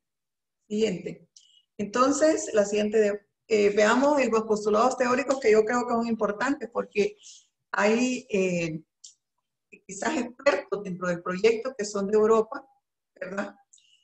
Y eh, son científicos, expertos que han trabajado mucho el tema de interculturalidad, tienen infinidad de publicaciones y aportes. Entonces, eh, y por eso se lo quise poner, ¿verdad? Como un reconocimiento a, a esas personas que, que, que son eh, entregadas, ¿verdad? No solo a los proyectos, sino también a la, a la comunidad académica, a la comunidad social, ¿verdad? Y que ellos eh, introducen estos aspectos y los discutimos. Por supuesto que hay abono de todos los, los miembros de, de Profit, ¿verdad? Todos los socios, todos los que participamos. Y es que las competencias interculturales no son únicamente evitar conflictos o malentendidos, sino además promover la diversidad cultural para la innovación en el mundo laboral, algo que yo ya explicaba antes, principalmente de los estudiantes. Por supuesto que aquí es todo ganamos. Incluso las oficinas de relaciones internacionales aprendemos, nos, nos actualizamos, innovamos, ¿verdad? cada estudiante en movilidad es una experiencia para él, pero también para nosotros y para los profesores a veces que están cercanos a ellos. Y además eh, la, la, la, parte académica, los profesores, los docentes también van concientizándose de, la, de la, esa internacionalización de la cultura y la necesidad de respetar, porque también ellos tienen estudiantes extranjeros en sus aulas, ya sea por movilidad o no, ¿verdad? Y a veces hay algunos, este, no solo malos entendidos, sino tal vez no comprensión de esa cultura. Entonces también ellos van a contribuir, pero principalmente a los estudiantes lo he puesto porque es lo que, lo que estamos formando integralmente, ¿verdad? Entonces los estamos preparando para ese mundo laboral. Por supuesto que hay un buen porcentaje que lo van a aprender ya en la práctica. Sin duda, pero al menos ya lleva esa, esa conciencia.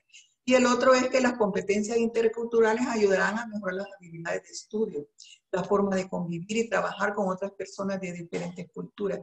Sin duda las experiencias que tienen todos los que van en intercambio, ya sean profesores, investigadores, estudiantes, administrativos, les cambia la vida, les cambia la vida y ya vienen con otra mentalidad y por supuesto se vuelven, yo, yo diría que se vuelven aliados de la Oficina de Relaciones Internacionales, porque a veces participan en los foros y ellos mismos eh, ayudan a promover, ¿verdad? Y, entonces ese, esa red que se va conformando sin duda es, es muy... Eh, es muy importante, ¿verdad? Y tiene mucha incidencia positiva.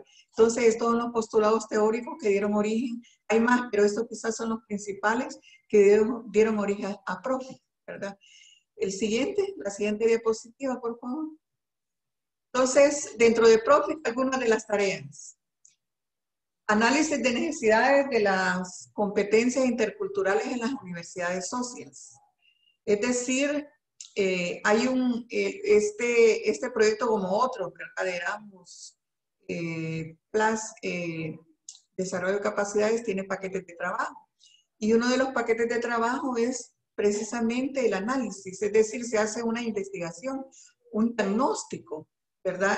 Para ver cómo es que están las necesidades, no, nacen del aire. Si bien es cierto, tenemos una base teórica, pero estas necesidades nacen precisamente de ese estudio y tuvimos las, los tres países, las universidades de los tres países de América Latina que estamos participando, que es México, Argentina y El Salvador, tuvimos la visita, en este caso de los responsables de este paquete de trabajo que es que está eh, Glasgow y, Italia, y eh, también este, el País Vasco, que está la Universidad en Bilbao, que no es la Universidad de Bilbao, sino que la de, de Deusto.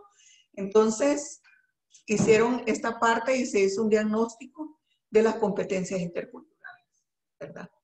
Y eh, se hizo acá en El Salvador, se hizo en México y en, y en Argentina y dio como resultado un documento que es la fuente para diseñar la intervención que va a ser a través de talleres, ¿verdad? Pero que además hay una tarea importante que eh, se incorpore como eje transversal dentro de los diseños curriculares, es decir, que no sean cursos anexos, ¿verdad? Sino que eh, se incorpore la metodología de enseñanza esta formación de competencias interculturales o refuerzo de esta área y que también eh, sea aplicada por los profesores. ¿verdad? Este es un gran reto que tenemos dentro de las tareas, pero es, lo, es como el horizonte que vamos construyendo, porque como decía Rebeca, todavía estamos en proceso. El proyecto de nuestro segundo año, termina hasta el próximo, son tres años de duración, ¿verdad? Entonces, claro, el COVID nos ha afectado un poco, pero no nos hemos detenido tampoco. Siguiente diapositiva. Las fases. Quizás, este, bueno, se ha construido un programa de desarrollo a partir de ese análisis de necesidades, que es un diagnóstico, ¿verdad?, de, cómo están eh, las competencias interculturales que estas se midieron con eh, personas, personal académico, administrativo y estudiantes que han estado en, en, un programa de intercambio y los otros que no han estado. ¿verdad? Es decir, el diagnóstico hizo eso para comparar inclusive ¿verdad? Eh, cómo es que eh, íbamos a diseñar. Entonces, este programa, en primer lugar, implementación, implementación de talleres, precisamente ya, ya la fecha del primer taller se nos ha pasado, pero ya se está planificando debido al COVID, ¿verdad? Hemos tenido el COVID, ustedes saben cómo nos ha afectado. Además, se va a elaborar un manual de aprendizaje y otras herramientas para desarrollar competencias interculturales. Y también se tomarán las competencias interculturales pedagógicas que ya había mencionado, con el fin de que también los profesores participen en esa formación. Siguiente. Esa es eh, brevemente la descripción de la fase, ¿verdad? Porque eh, esto es, es más amplio. Siguiente diapositiva.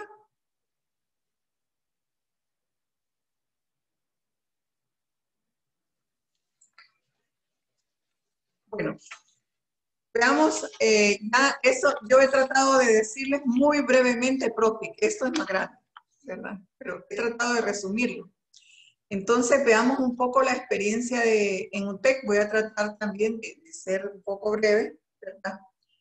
Nosotros en UTEC eh, trabajamos permanentemente en una cultura de internacionalización.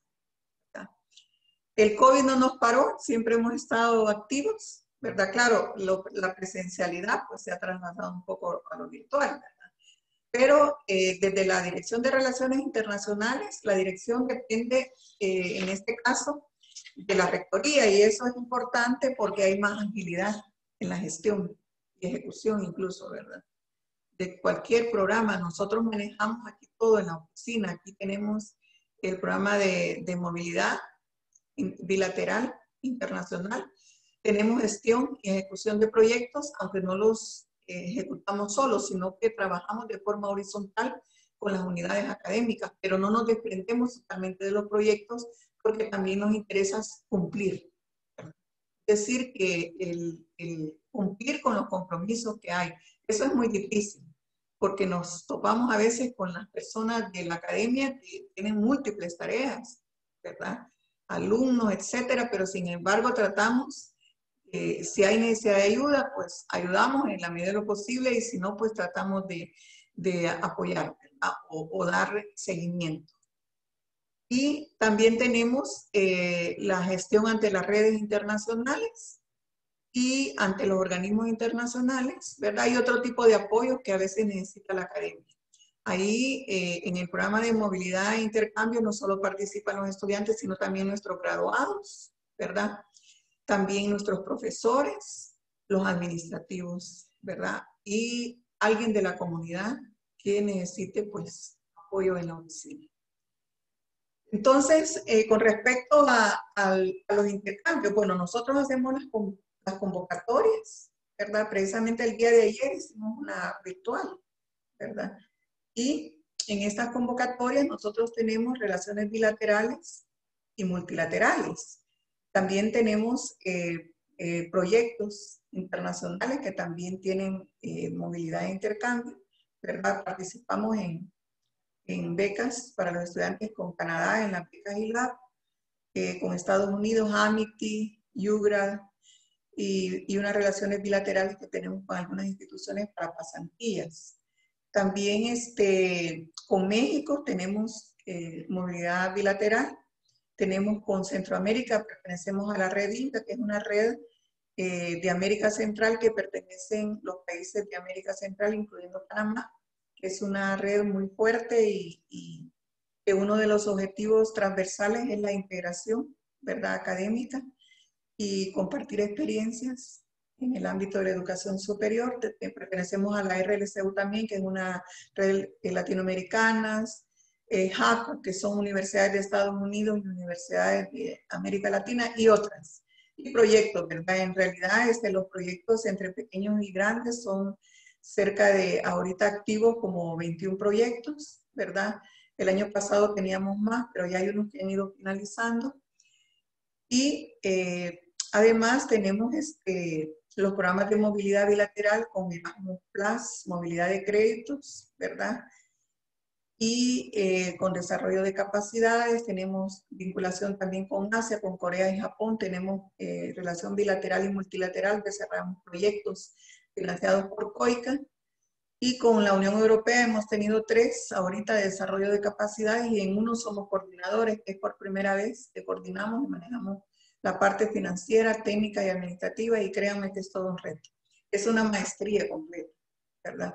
Entonces, esta convocatoria lo que lleva es eh, informar a la comunidad, eh, los, grupos meta, ¿verdad? Los sensibilizamos, los informamos y también eh, tratamos de darles los escenarios posibles en ese país donde vayan, ¿verdad?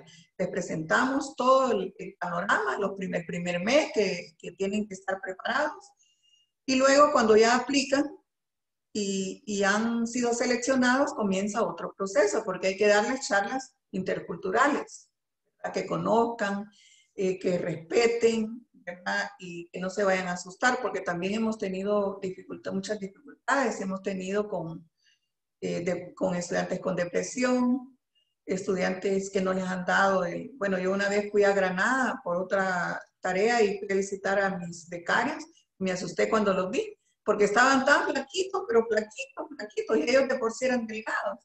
Dios mío, y me dice, ¿y qué pasó? Porque no les habían dado la mensualidad. Entonces estaban ahorrando, ¿verdad? pero no era por eso que estuvieran flaquitos, sino que era por, porque ellos también ahorraban para irse a pasear en las vacaciones por toda Europa, ¿verdad? Pero es decir, esa cercanía, ya sea en grupo o con los estudiantes, ¿verdad? Y principalmente decirles, mire, esto.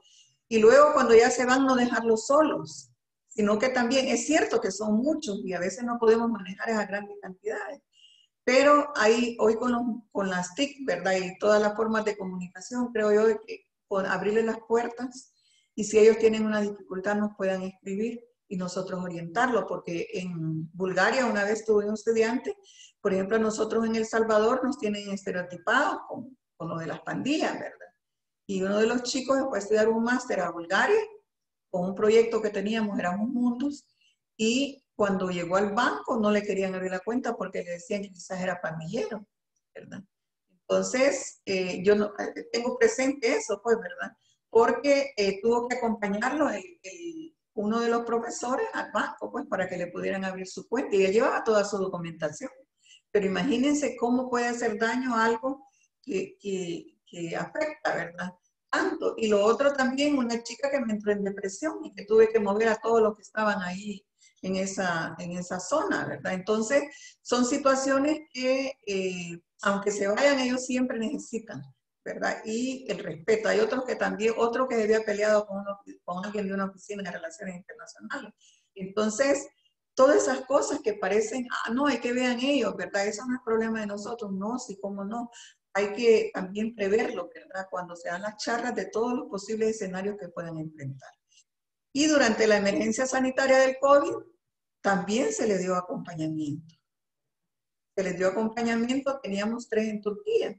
Y como ellos no, nosotros nos vamos a ir porque las clases las están dando virtual, pero aquí nos vamos a quedar y terminaron. Gracias a Dios ya regresaron sanos y salvos. Eh, teníamos en Canadá, en Estados Unidos, ¿verdad? Solo de posgrado si todavía están allá. Pero sí realmente, ¿verdad? Son retos los que se van presentando. Entonces, en este caso, para nuestra universidad que tiene ya trayectoria en, internacionalización. También tenemos un modelo de formación de competencias, en donde estas competencias interculturales vienen a, favorecer, ¿verdad? Además, eh, es, es, importante señalar que también tenemos carreras con énfasis en inglés. Nuestra universidad tiene dos modelos, tres modelos. Uno de, tenemos 13 carreras completamente virtuales. Y esas siempre, tenemos 10 años o más de 10 años de tener carreras virtuales, completamente. Y que hoy se, se, han fortalecido un poco, ¿verdad? Con, con, con, este impasse que hemos tenido. Tenemos carreras presenciales y semipresenciales. Estas últimas dos hoy pues se están dando virtual porque depende de los escenarios, el próximo año vamos a aperturar ya eh, la nueva normalidad.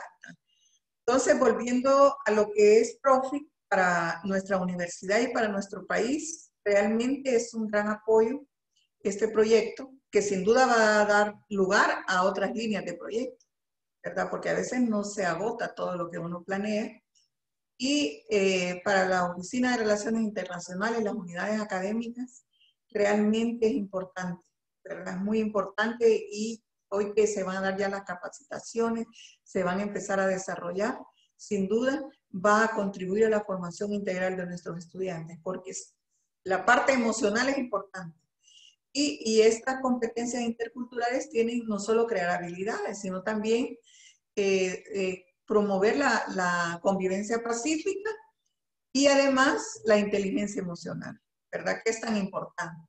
Entonces, eh, he, querido ser, acoplarme al, al tiempo que me dijo Luis Fernando, porque si no me dijo que me iba a mandar un mensaje. Pero aquí estoy, Luis Fernando, casi en el tiempo, ¿verdad? Y bueno, la verdad es que el aprendizaje en, en las competencias interculturales es permanente, igual que en la internacionalización.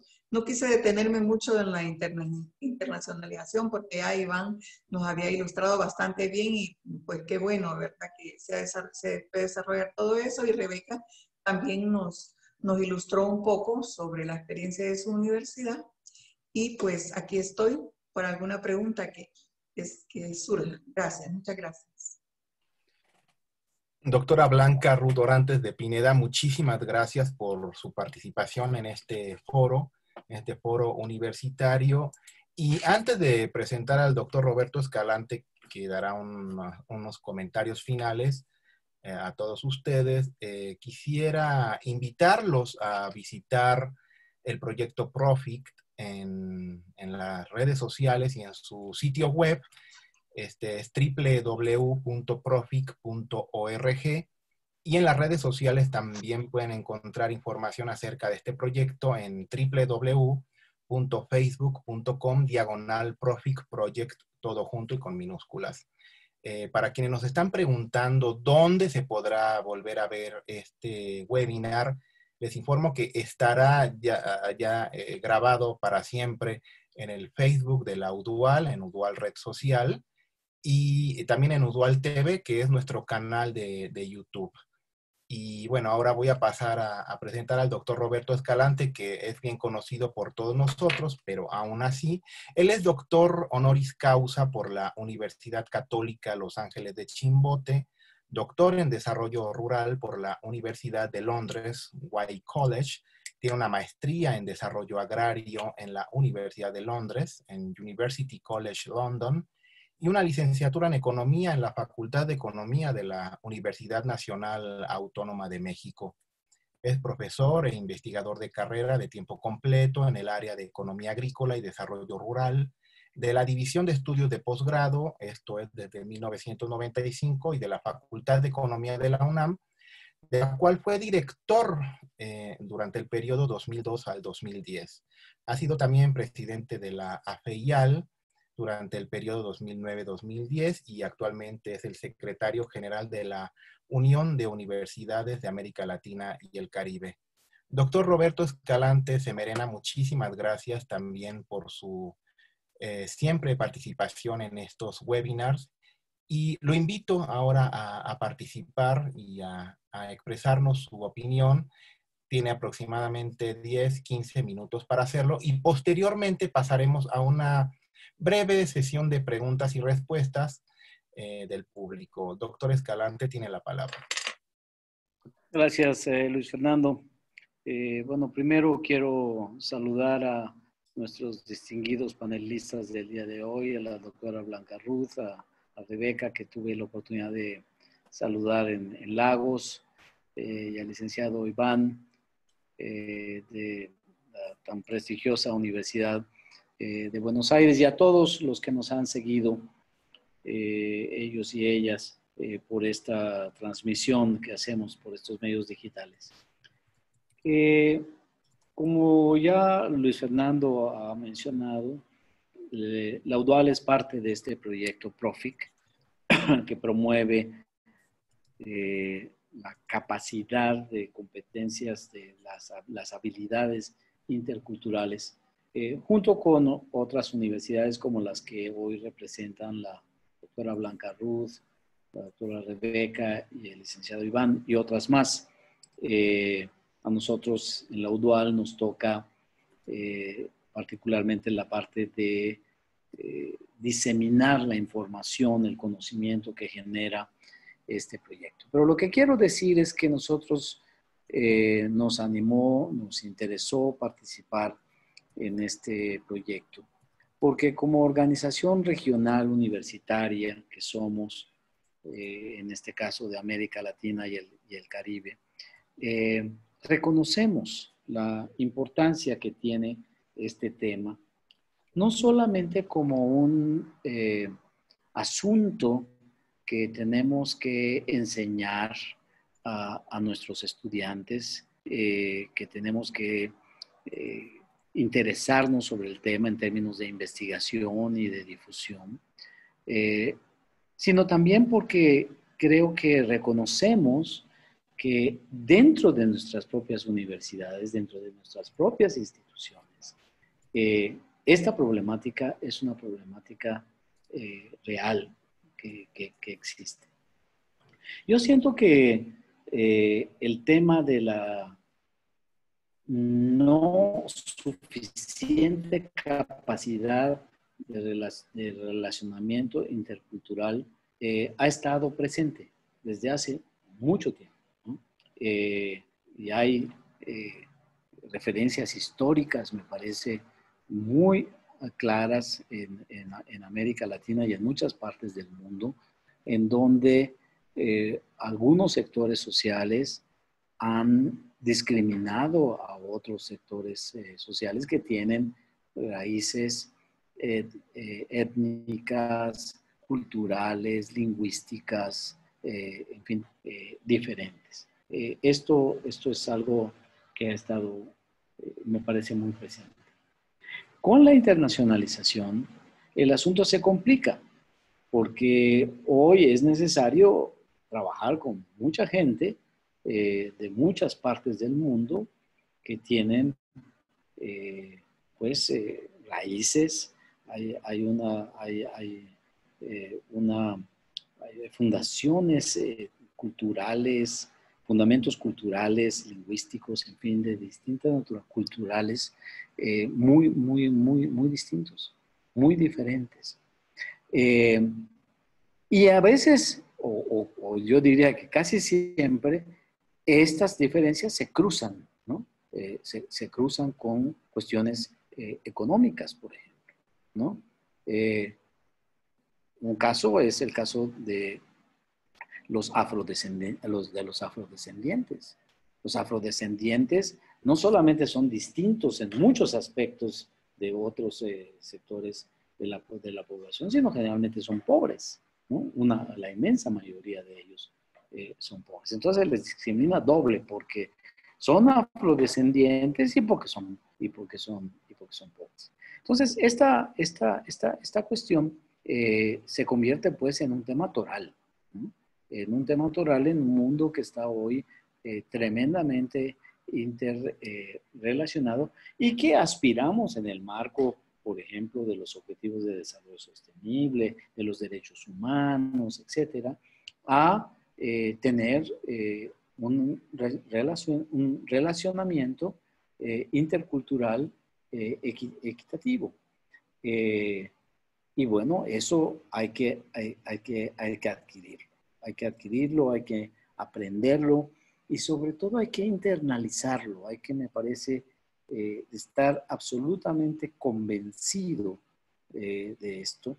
Y el PROFIC creo que eh, no solamente pone sobre la mesa, por, decirlo como en el lenguaje académico, como lo usamos, evidenciar esta, esta cuestión, sino ofrece posibilidades de crear maneras de educar a, nuestros estudiantes, a nuestros futuros profesionales o a los que ya están trabajando en las universidades a tener la capacidad de relacionamiento eh, intercultural. Esto no es sencillo. No, solamente es un tema eh, teórico, eh, epistemológico, etc. Es un tema de práctica cultural.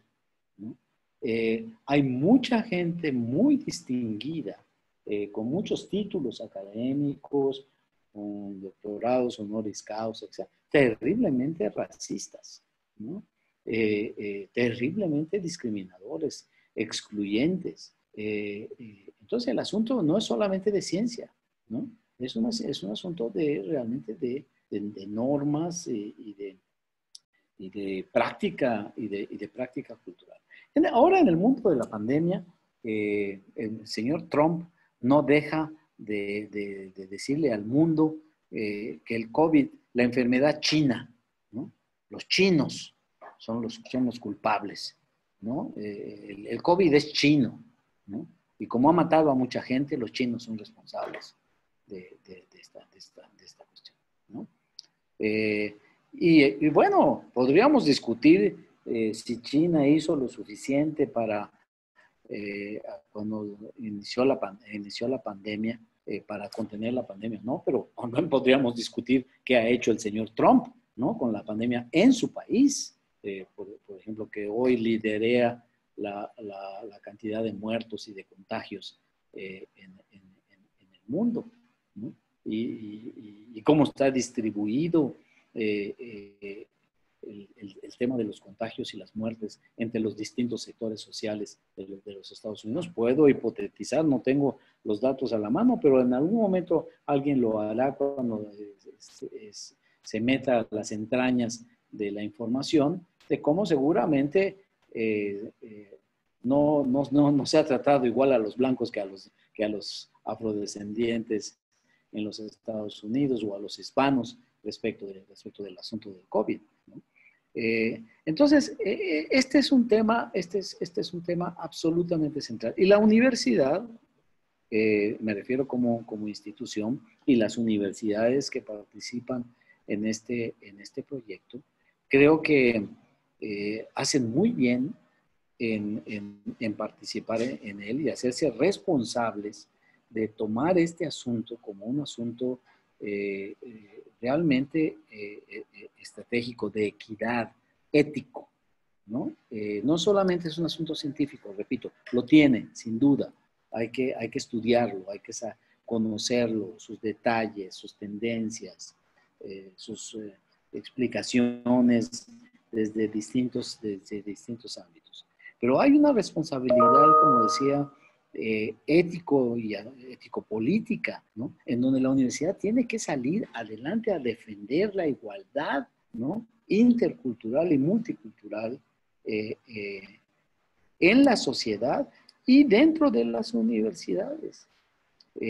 es duro decirlo, pero hay universidades en donde se practica la exclusión este, racial, ¿no? La exclusión que está asociada a, lo, social y a lo, cultural. Eh, no es casual, por ejemplo, en mi país, en, México, en donde la gente de origen, de origen indígena son los que tienen menos acceso a la educación superior, ¿no? son, el último, en un porcentaje muy, muy, muy, muy, muy, pequeño. Eh, y, cuando, y cuando están en las universidades, eh, son, son en muchas ocasiones eh, maltratados. Incluso el propio hecho de que se les diga, ah, es que ah, tienen que tener un tratamiento especial. Qué bueno que, que haya becas y haya apoyo para ellos y demás, pero ya significa esta cosa, ¿no? Son distintos no son como nosotros, son otra cosa, ¿no? Eh, y, por lo tanto hay que, hay que, hay que, hay que hacer esta, esta, esta tarea particular. Entonces, eh, el propósito de este, de este webinar es el de conocer, en el caso de estas tres distinguidas universidades y sus eh, muy distinguidos representantes, cómo el, el, trabajo de internacionalización que hace está vinculado con el trabajo, con el, con el asunto de la, de la interculturalidad eh, y la multiculturalidad. Eh, yo eh, creo que estas universidades, la Universidad de Guadalajara, la UTEC, la, la, la, la UBA, son instituciones muy importantes en sus países y en el conjunto del espacio universitario latinoamericano junto con las otras que participan, como la Nacional de Córdoba, la Universidad de La Plata, eh, eh, en Argentina, eh, que hacen, me parece, una tarea muy loable, muy, muy reconocible por, la importancia, por la importancia que le, que le dan.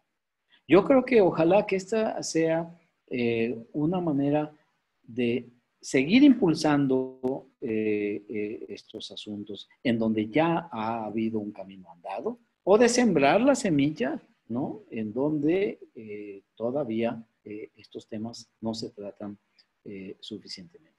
Nosotros, como decía al inicio, la, la, UDUAL, como parte del proyecto, como participante del proyecto, tiene la obligación de promover esta discusión, de promover esta discusión. Eh, lo más ampliamente posible, de diseminarla, de, difundirla, de, explicar, de, explicarla, de provocar el debate eh, eh, de, por, qué la justicia, la justeza científica, ética, política que tiene este, este tema. Entonces, pues yo creo que ha sido un, un, un webinar muy, muy, interesante. Eh, sobre todo cuando estas estas universidades, la UBA, por ejemplo, la UBA recibe 30 mil estudiantes del exterior y manda seguramente otros cuantos miles. La de Guadalajara igual, la UTEC hace algo parecido. Eh, eh, entonces, pues esas gentes tienen que tener entonces una organización, estas universidades, estas grandes instituciones, tienen que tener la capacidad de manejar adecuadamente eh, toda esta tarea de internacionalización. Como decía, la internacionalización eh, ha potencializado, ha potenciado eh, el, tema de la dificultad, de la importancia de la interculturalidad y de la multiculturalidad. Bien hacemos, estoy convencido, de participar en, este, en este proyecto bajo el liderazgo de eh, la Caledonian Glasgow University, ¿no? con Dane Ludik, Lukic, perdón, eh, y, otras universidades europeas. Eh, y qué bueno que hoy tuvimos esta, esta sesión, que tendremos, creo, estoy convencido de eso, que hacer muchas más, muchas, muchas más sesiones e invitar, yo propondría en algún próximo webinar, a estos estudiantes que la UTEC, que la Universidad de Guadalajara, que la Universidad de Buenos Aires ha enviado al exterior y que nos cuenten su experiencia intercultural, ¿no? ¿Cómo les ha ido? ¿Los trataron bien? ¿Los trataron mal? Yo fui un estudiante intercultural, yo estudié en Inglaterra y tuve buenas experiencias y malas experiencias. Yo sufrí, eh, si lo puedo decir, actitudes racistas, ¿no? De, los, de los ingleses en contra de, en contra de mi persona por no ser, anglo, por no ser anglosajón. Eh, eh, entonces, eh, creo que es una buena oportunidad para pensar en nuevas temáticas y, y, nuevos interlocutores. Los de hoy han sido espléndidos, ellos y, ellas y él, y yo les agradezco muchísimo su, su participación y por supuesto a ti, Luis Fernando, por tu contribución y saludo nuevamente a todos los que nos vieron eh, durante estos minutos. Muchas gracias. Muchísimas gracias, doctor Roberto Escalante Semerena. Eh, por razones de tiempo, lamentablemente la doctora Rebeca Vanessa García Corso se tiene que retirar. Hay algunas preguntas que van dirigidas a ella, eh, se las haremos llegar y buscaremos la manera de responderlas y que esta respuesta llegue a, las personas que, así lo soliciten. Eh, antes de concluir y de pasar a una pequeña ronda de tres preguntas que hemos seleccionado de entre 15 o más que nos han llegado al chat y a Facebook, eh, quisiera mandar un saludo a las universidades de Oriente, a la estatal a distancia de Costa Rica, a diversas áreas de la Universidad de Buenos Aires, de la Nacional de Asunción, Paraguay, a la Libre de Colombia, la Pontificia Bolivariana Seccional de Palmira, a la Corporación Universitaria Americana de Colombia y también hay gente que está comunicando desde el queridísimo estado de Oaxaca. Eh, vamos a pasar a una pequeña ronda ah, de preguntas. Eh, una de ellas dice así. Existe una preocupación en las universidades en el sentido que todos los proyectos hablan de desarrollo de competencias interculturales, pero no existe un catálogo de experiencias exitosas o buenas prácticas concretas. ¿Qué hacemos en concreto para fomentar bajo un modelo las competencias interculturales? Eh, es una pregunta abierta para quien quiera eh, levantar la mano y responderla.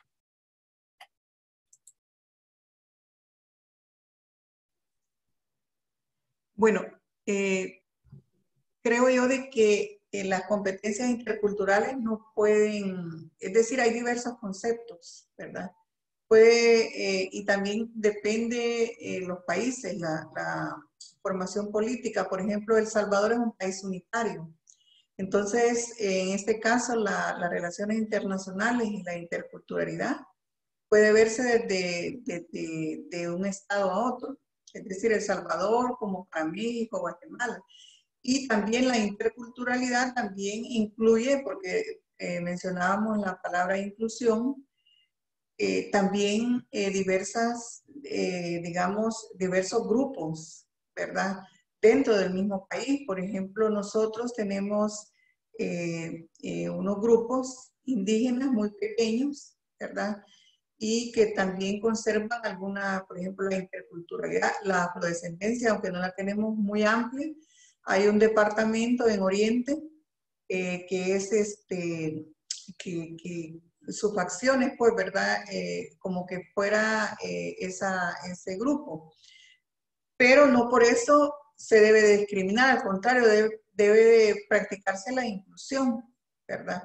Entonces, cuando decimos la formación de competencias interculturales implica no solamente eh, la parte quizás este, eh, de diferencias, de no solo lingüísticas, ni, ni, de comportamiento, ni cómo se visten, ni otras cosas de, de país a país, sino también a veces como un caso de México, pues, ¿verdad? Puede darse esa, esa, situación. Y le digo porque por ahí vi una pregunta de relaciones internacionales y entonces, por ejemplo, en México las relaciones internacionales podría darse de Estado a Estado, igual que en Estados Unidos o en España, ¿verdad? Y en El Salvador, las relaciones internacionales son, eh, integra pues eh, a todo el país porque es un país unitario, no es un país federado, no es una federación, ¿verdad? Ni, ni tiene otra estructura política. Entonces, esas competencias interculturales tienen que ver también con las estructuras políticas, ¿verdad? Sin embargo, eh, la idea es que las competencias interculturales incluyen eh, la no discriminación, el respeto a la interculturalidad, ¿verdad? Y, este, por ejemplo, la forma de vestirse. Nosotros hemos tenido eh, gente de todas partes del mundo y como visitantes, y tienen, a veces ellos no acostumbran a usar traje ni nada de eso, pues, ¿verdad? Sino que incluso en sandalias, entonces, aunque vaya a un acto formal, entonces hay situaciones que uno tiene que respetar. Pongo ese ejemplo tan sencillo y a lo mejor común, ¿verdad? Eh, y por eso es que eh, son, la interculturalidad comprende varias cosas, varios aspectos, varios componentes, ¿verdad? Entonces sí hay muchos artículos eh, científicos sobre el tema, ¿verdad? Incluso eh, el doctor Dane de Glasgow tiene muchas publicaciones, también María de la Universidad de Usto, que creo que hoy está en otra universidad, y hay otros autores, ¿verdad? Es decir, ahí puede irse viendo y yo creo que ese componente tiene que adecuarse porque, por ejemplo, la formación social y cultural de El Salvador podría tener alguna similitud con México y algunas diferencias, con Argentina igual. ¿verdad? Entonces, creo yo de que por eso planteaba un marco teórico un poco orientado a lo que era la base del proyecto, pero que cuando nosotros la trasladamos a otros escenarios podría, eh, digamos, cambiar, ¿verdad? Es decir, la categoría de, de, formación, de competencias interculturales podría ser eh, adaptada según las realidades y con algunos componentes comunes. Esa sería mi respuesta un poco pragmática.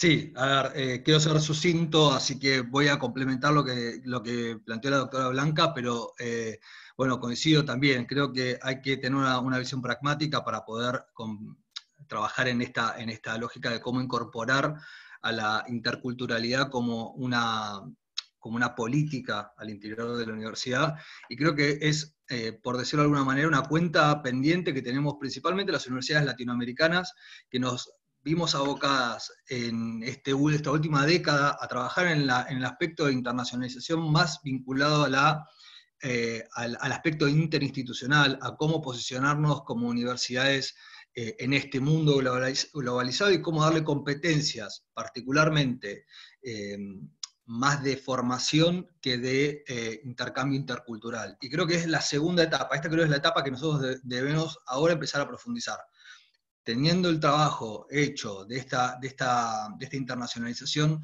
con foco más que nada en intercambios, en, la cuestión científica, la cuestión académica, tenemos que mudar y, sumar en esta nueva etapa la cuestión de la interculturalidad.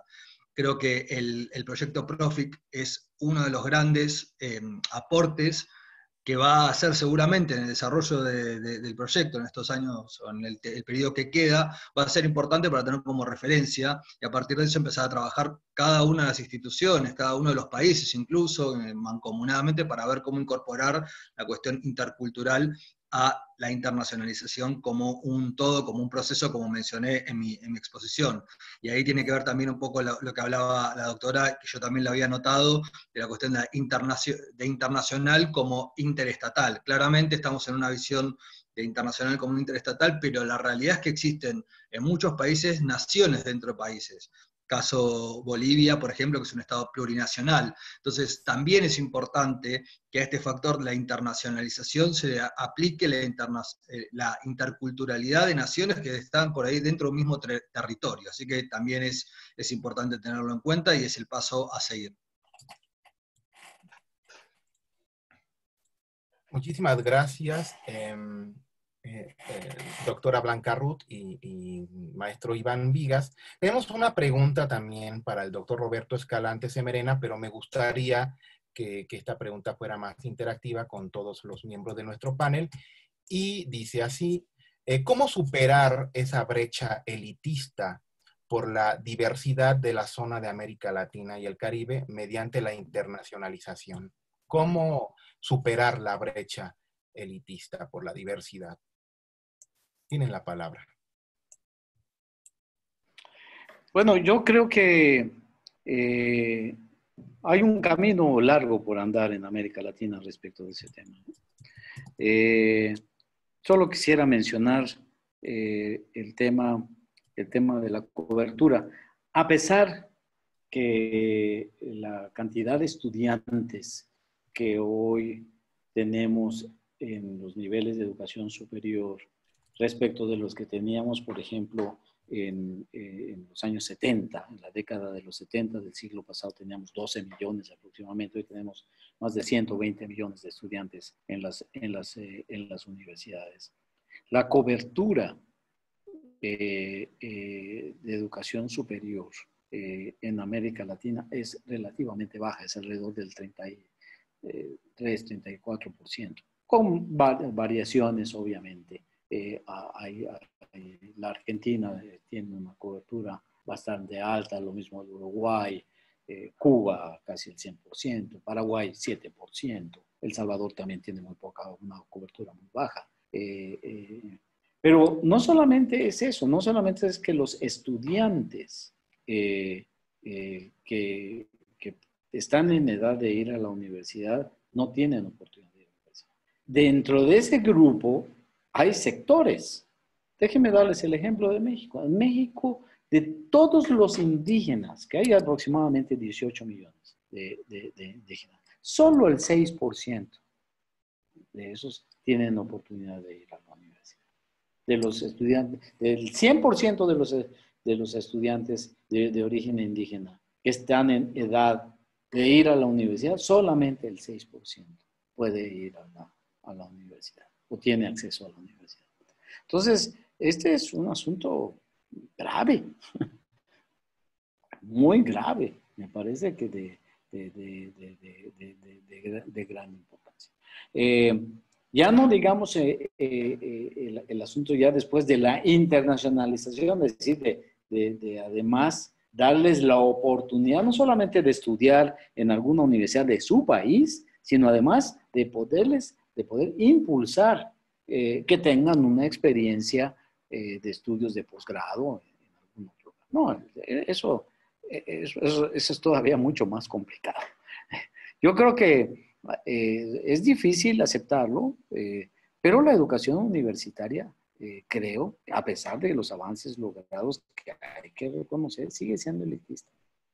Eso diría yo.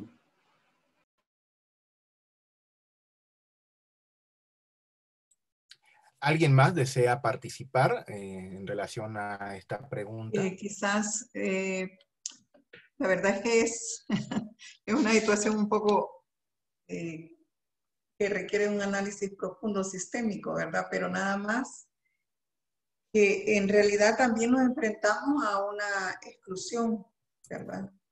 A una exclusión, y por eso mencionaba la palabra sistémica y, realmente este, el abordaje de esto ya requiere una política, ¿verdad? No una acción académica.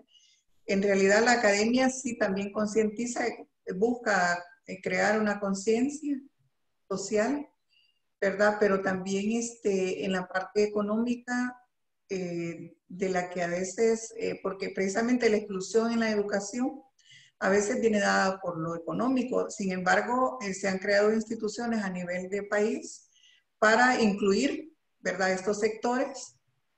Y cuando la palabra elitista sí me, yo la comprendo y todo, pero me entra en conflicto porque eh, la élite pues es, una, es un factor que no va a requerir la acción solo de un proyecto, ni solo de un grupo, ni de una universidad, sino que eso requiere otro tipo de acción, ¿verdad? Entonces, quizás sea un tipo de análisis que no, que no lo al menos en Profit no va incluido, sí va incluido acciones en conjunto, ¿verdad? Que integra, ¿verdad? Eh, actividades y, e intervención para eh, al menos eh, intervenir la parte humana, la parte institucional, ¿verdad? En relación a, la no discriminación y a la inclusión, ¿verdad?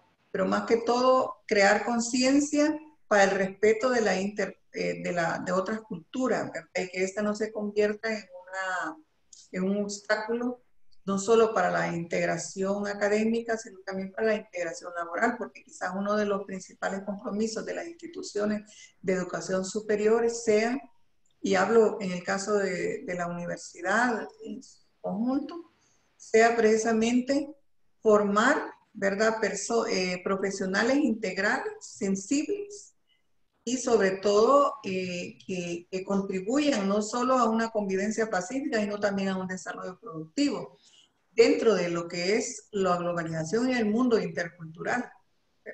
Entonces, eh, eso sería mi opinión sin, sin entrar en, en, el factor político. Gracias. Nadie más. Y con esto damos por concluido este webinar, que es la segunda sesión de los webinars de Profix sobre competencias interculturales. Eh, quisiera agradecer a todas y a todos quienes siguieron la transmisión desde Facebook y desde Zoom. Muchísimas gracias y les recuerdo que este ciclo eh, a dar constancias de participación con valor curricular eh, a todos quienes deseen la constancia por haber participado, les pedimos que escriban a la dirección de medios Y finalmente también quisiera invitarlos a conocer el proyecto Profic en, el sitio www.profic.org y en las redes sociales antes descritas. Y también, por último, quisiera agradecer al Instituto Latinoamericano de la Comunicación Educativa, y a la red de televisoras universitarias del Estado chileno, quienes nos favorecen con la retransmisión de estos contenidos. A todos ellos, muchísimas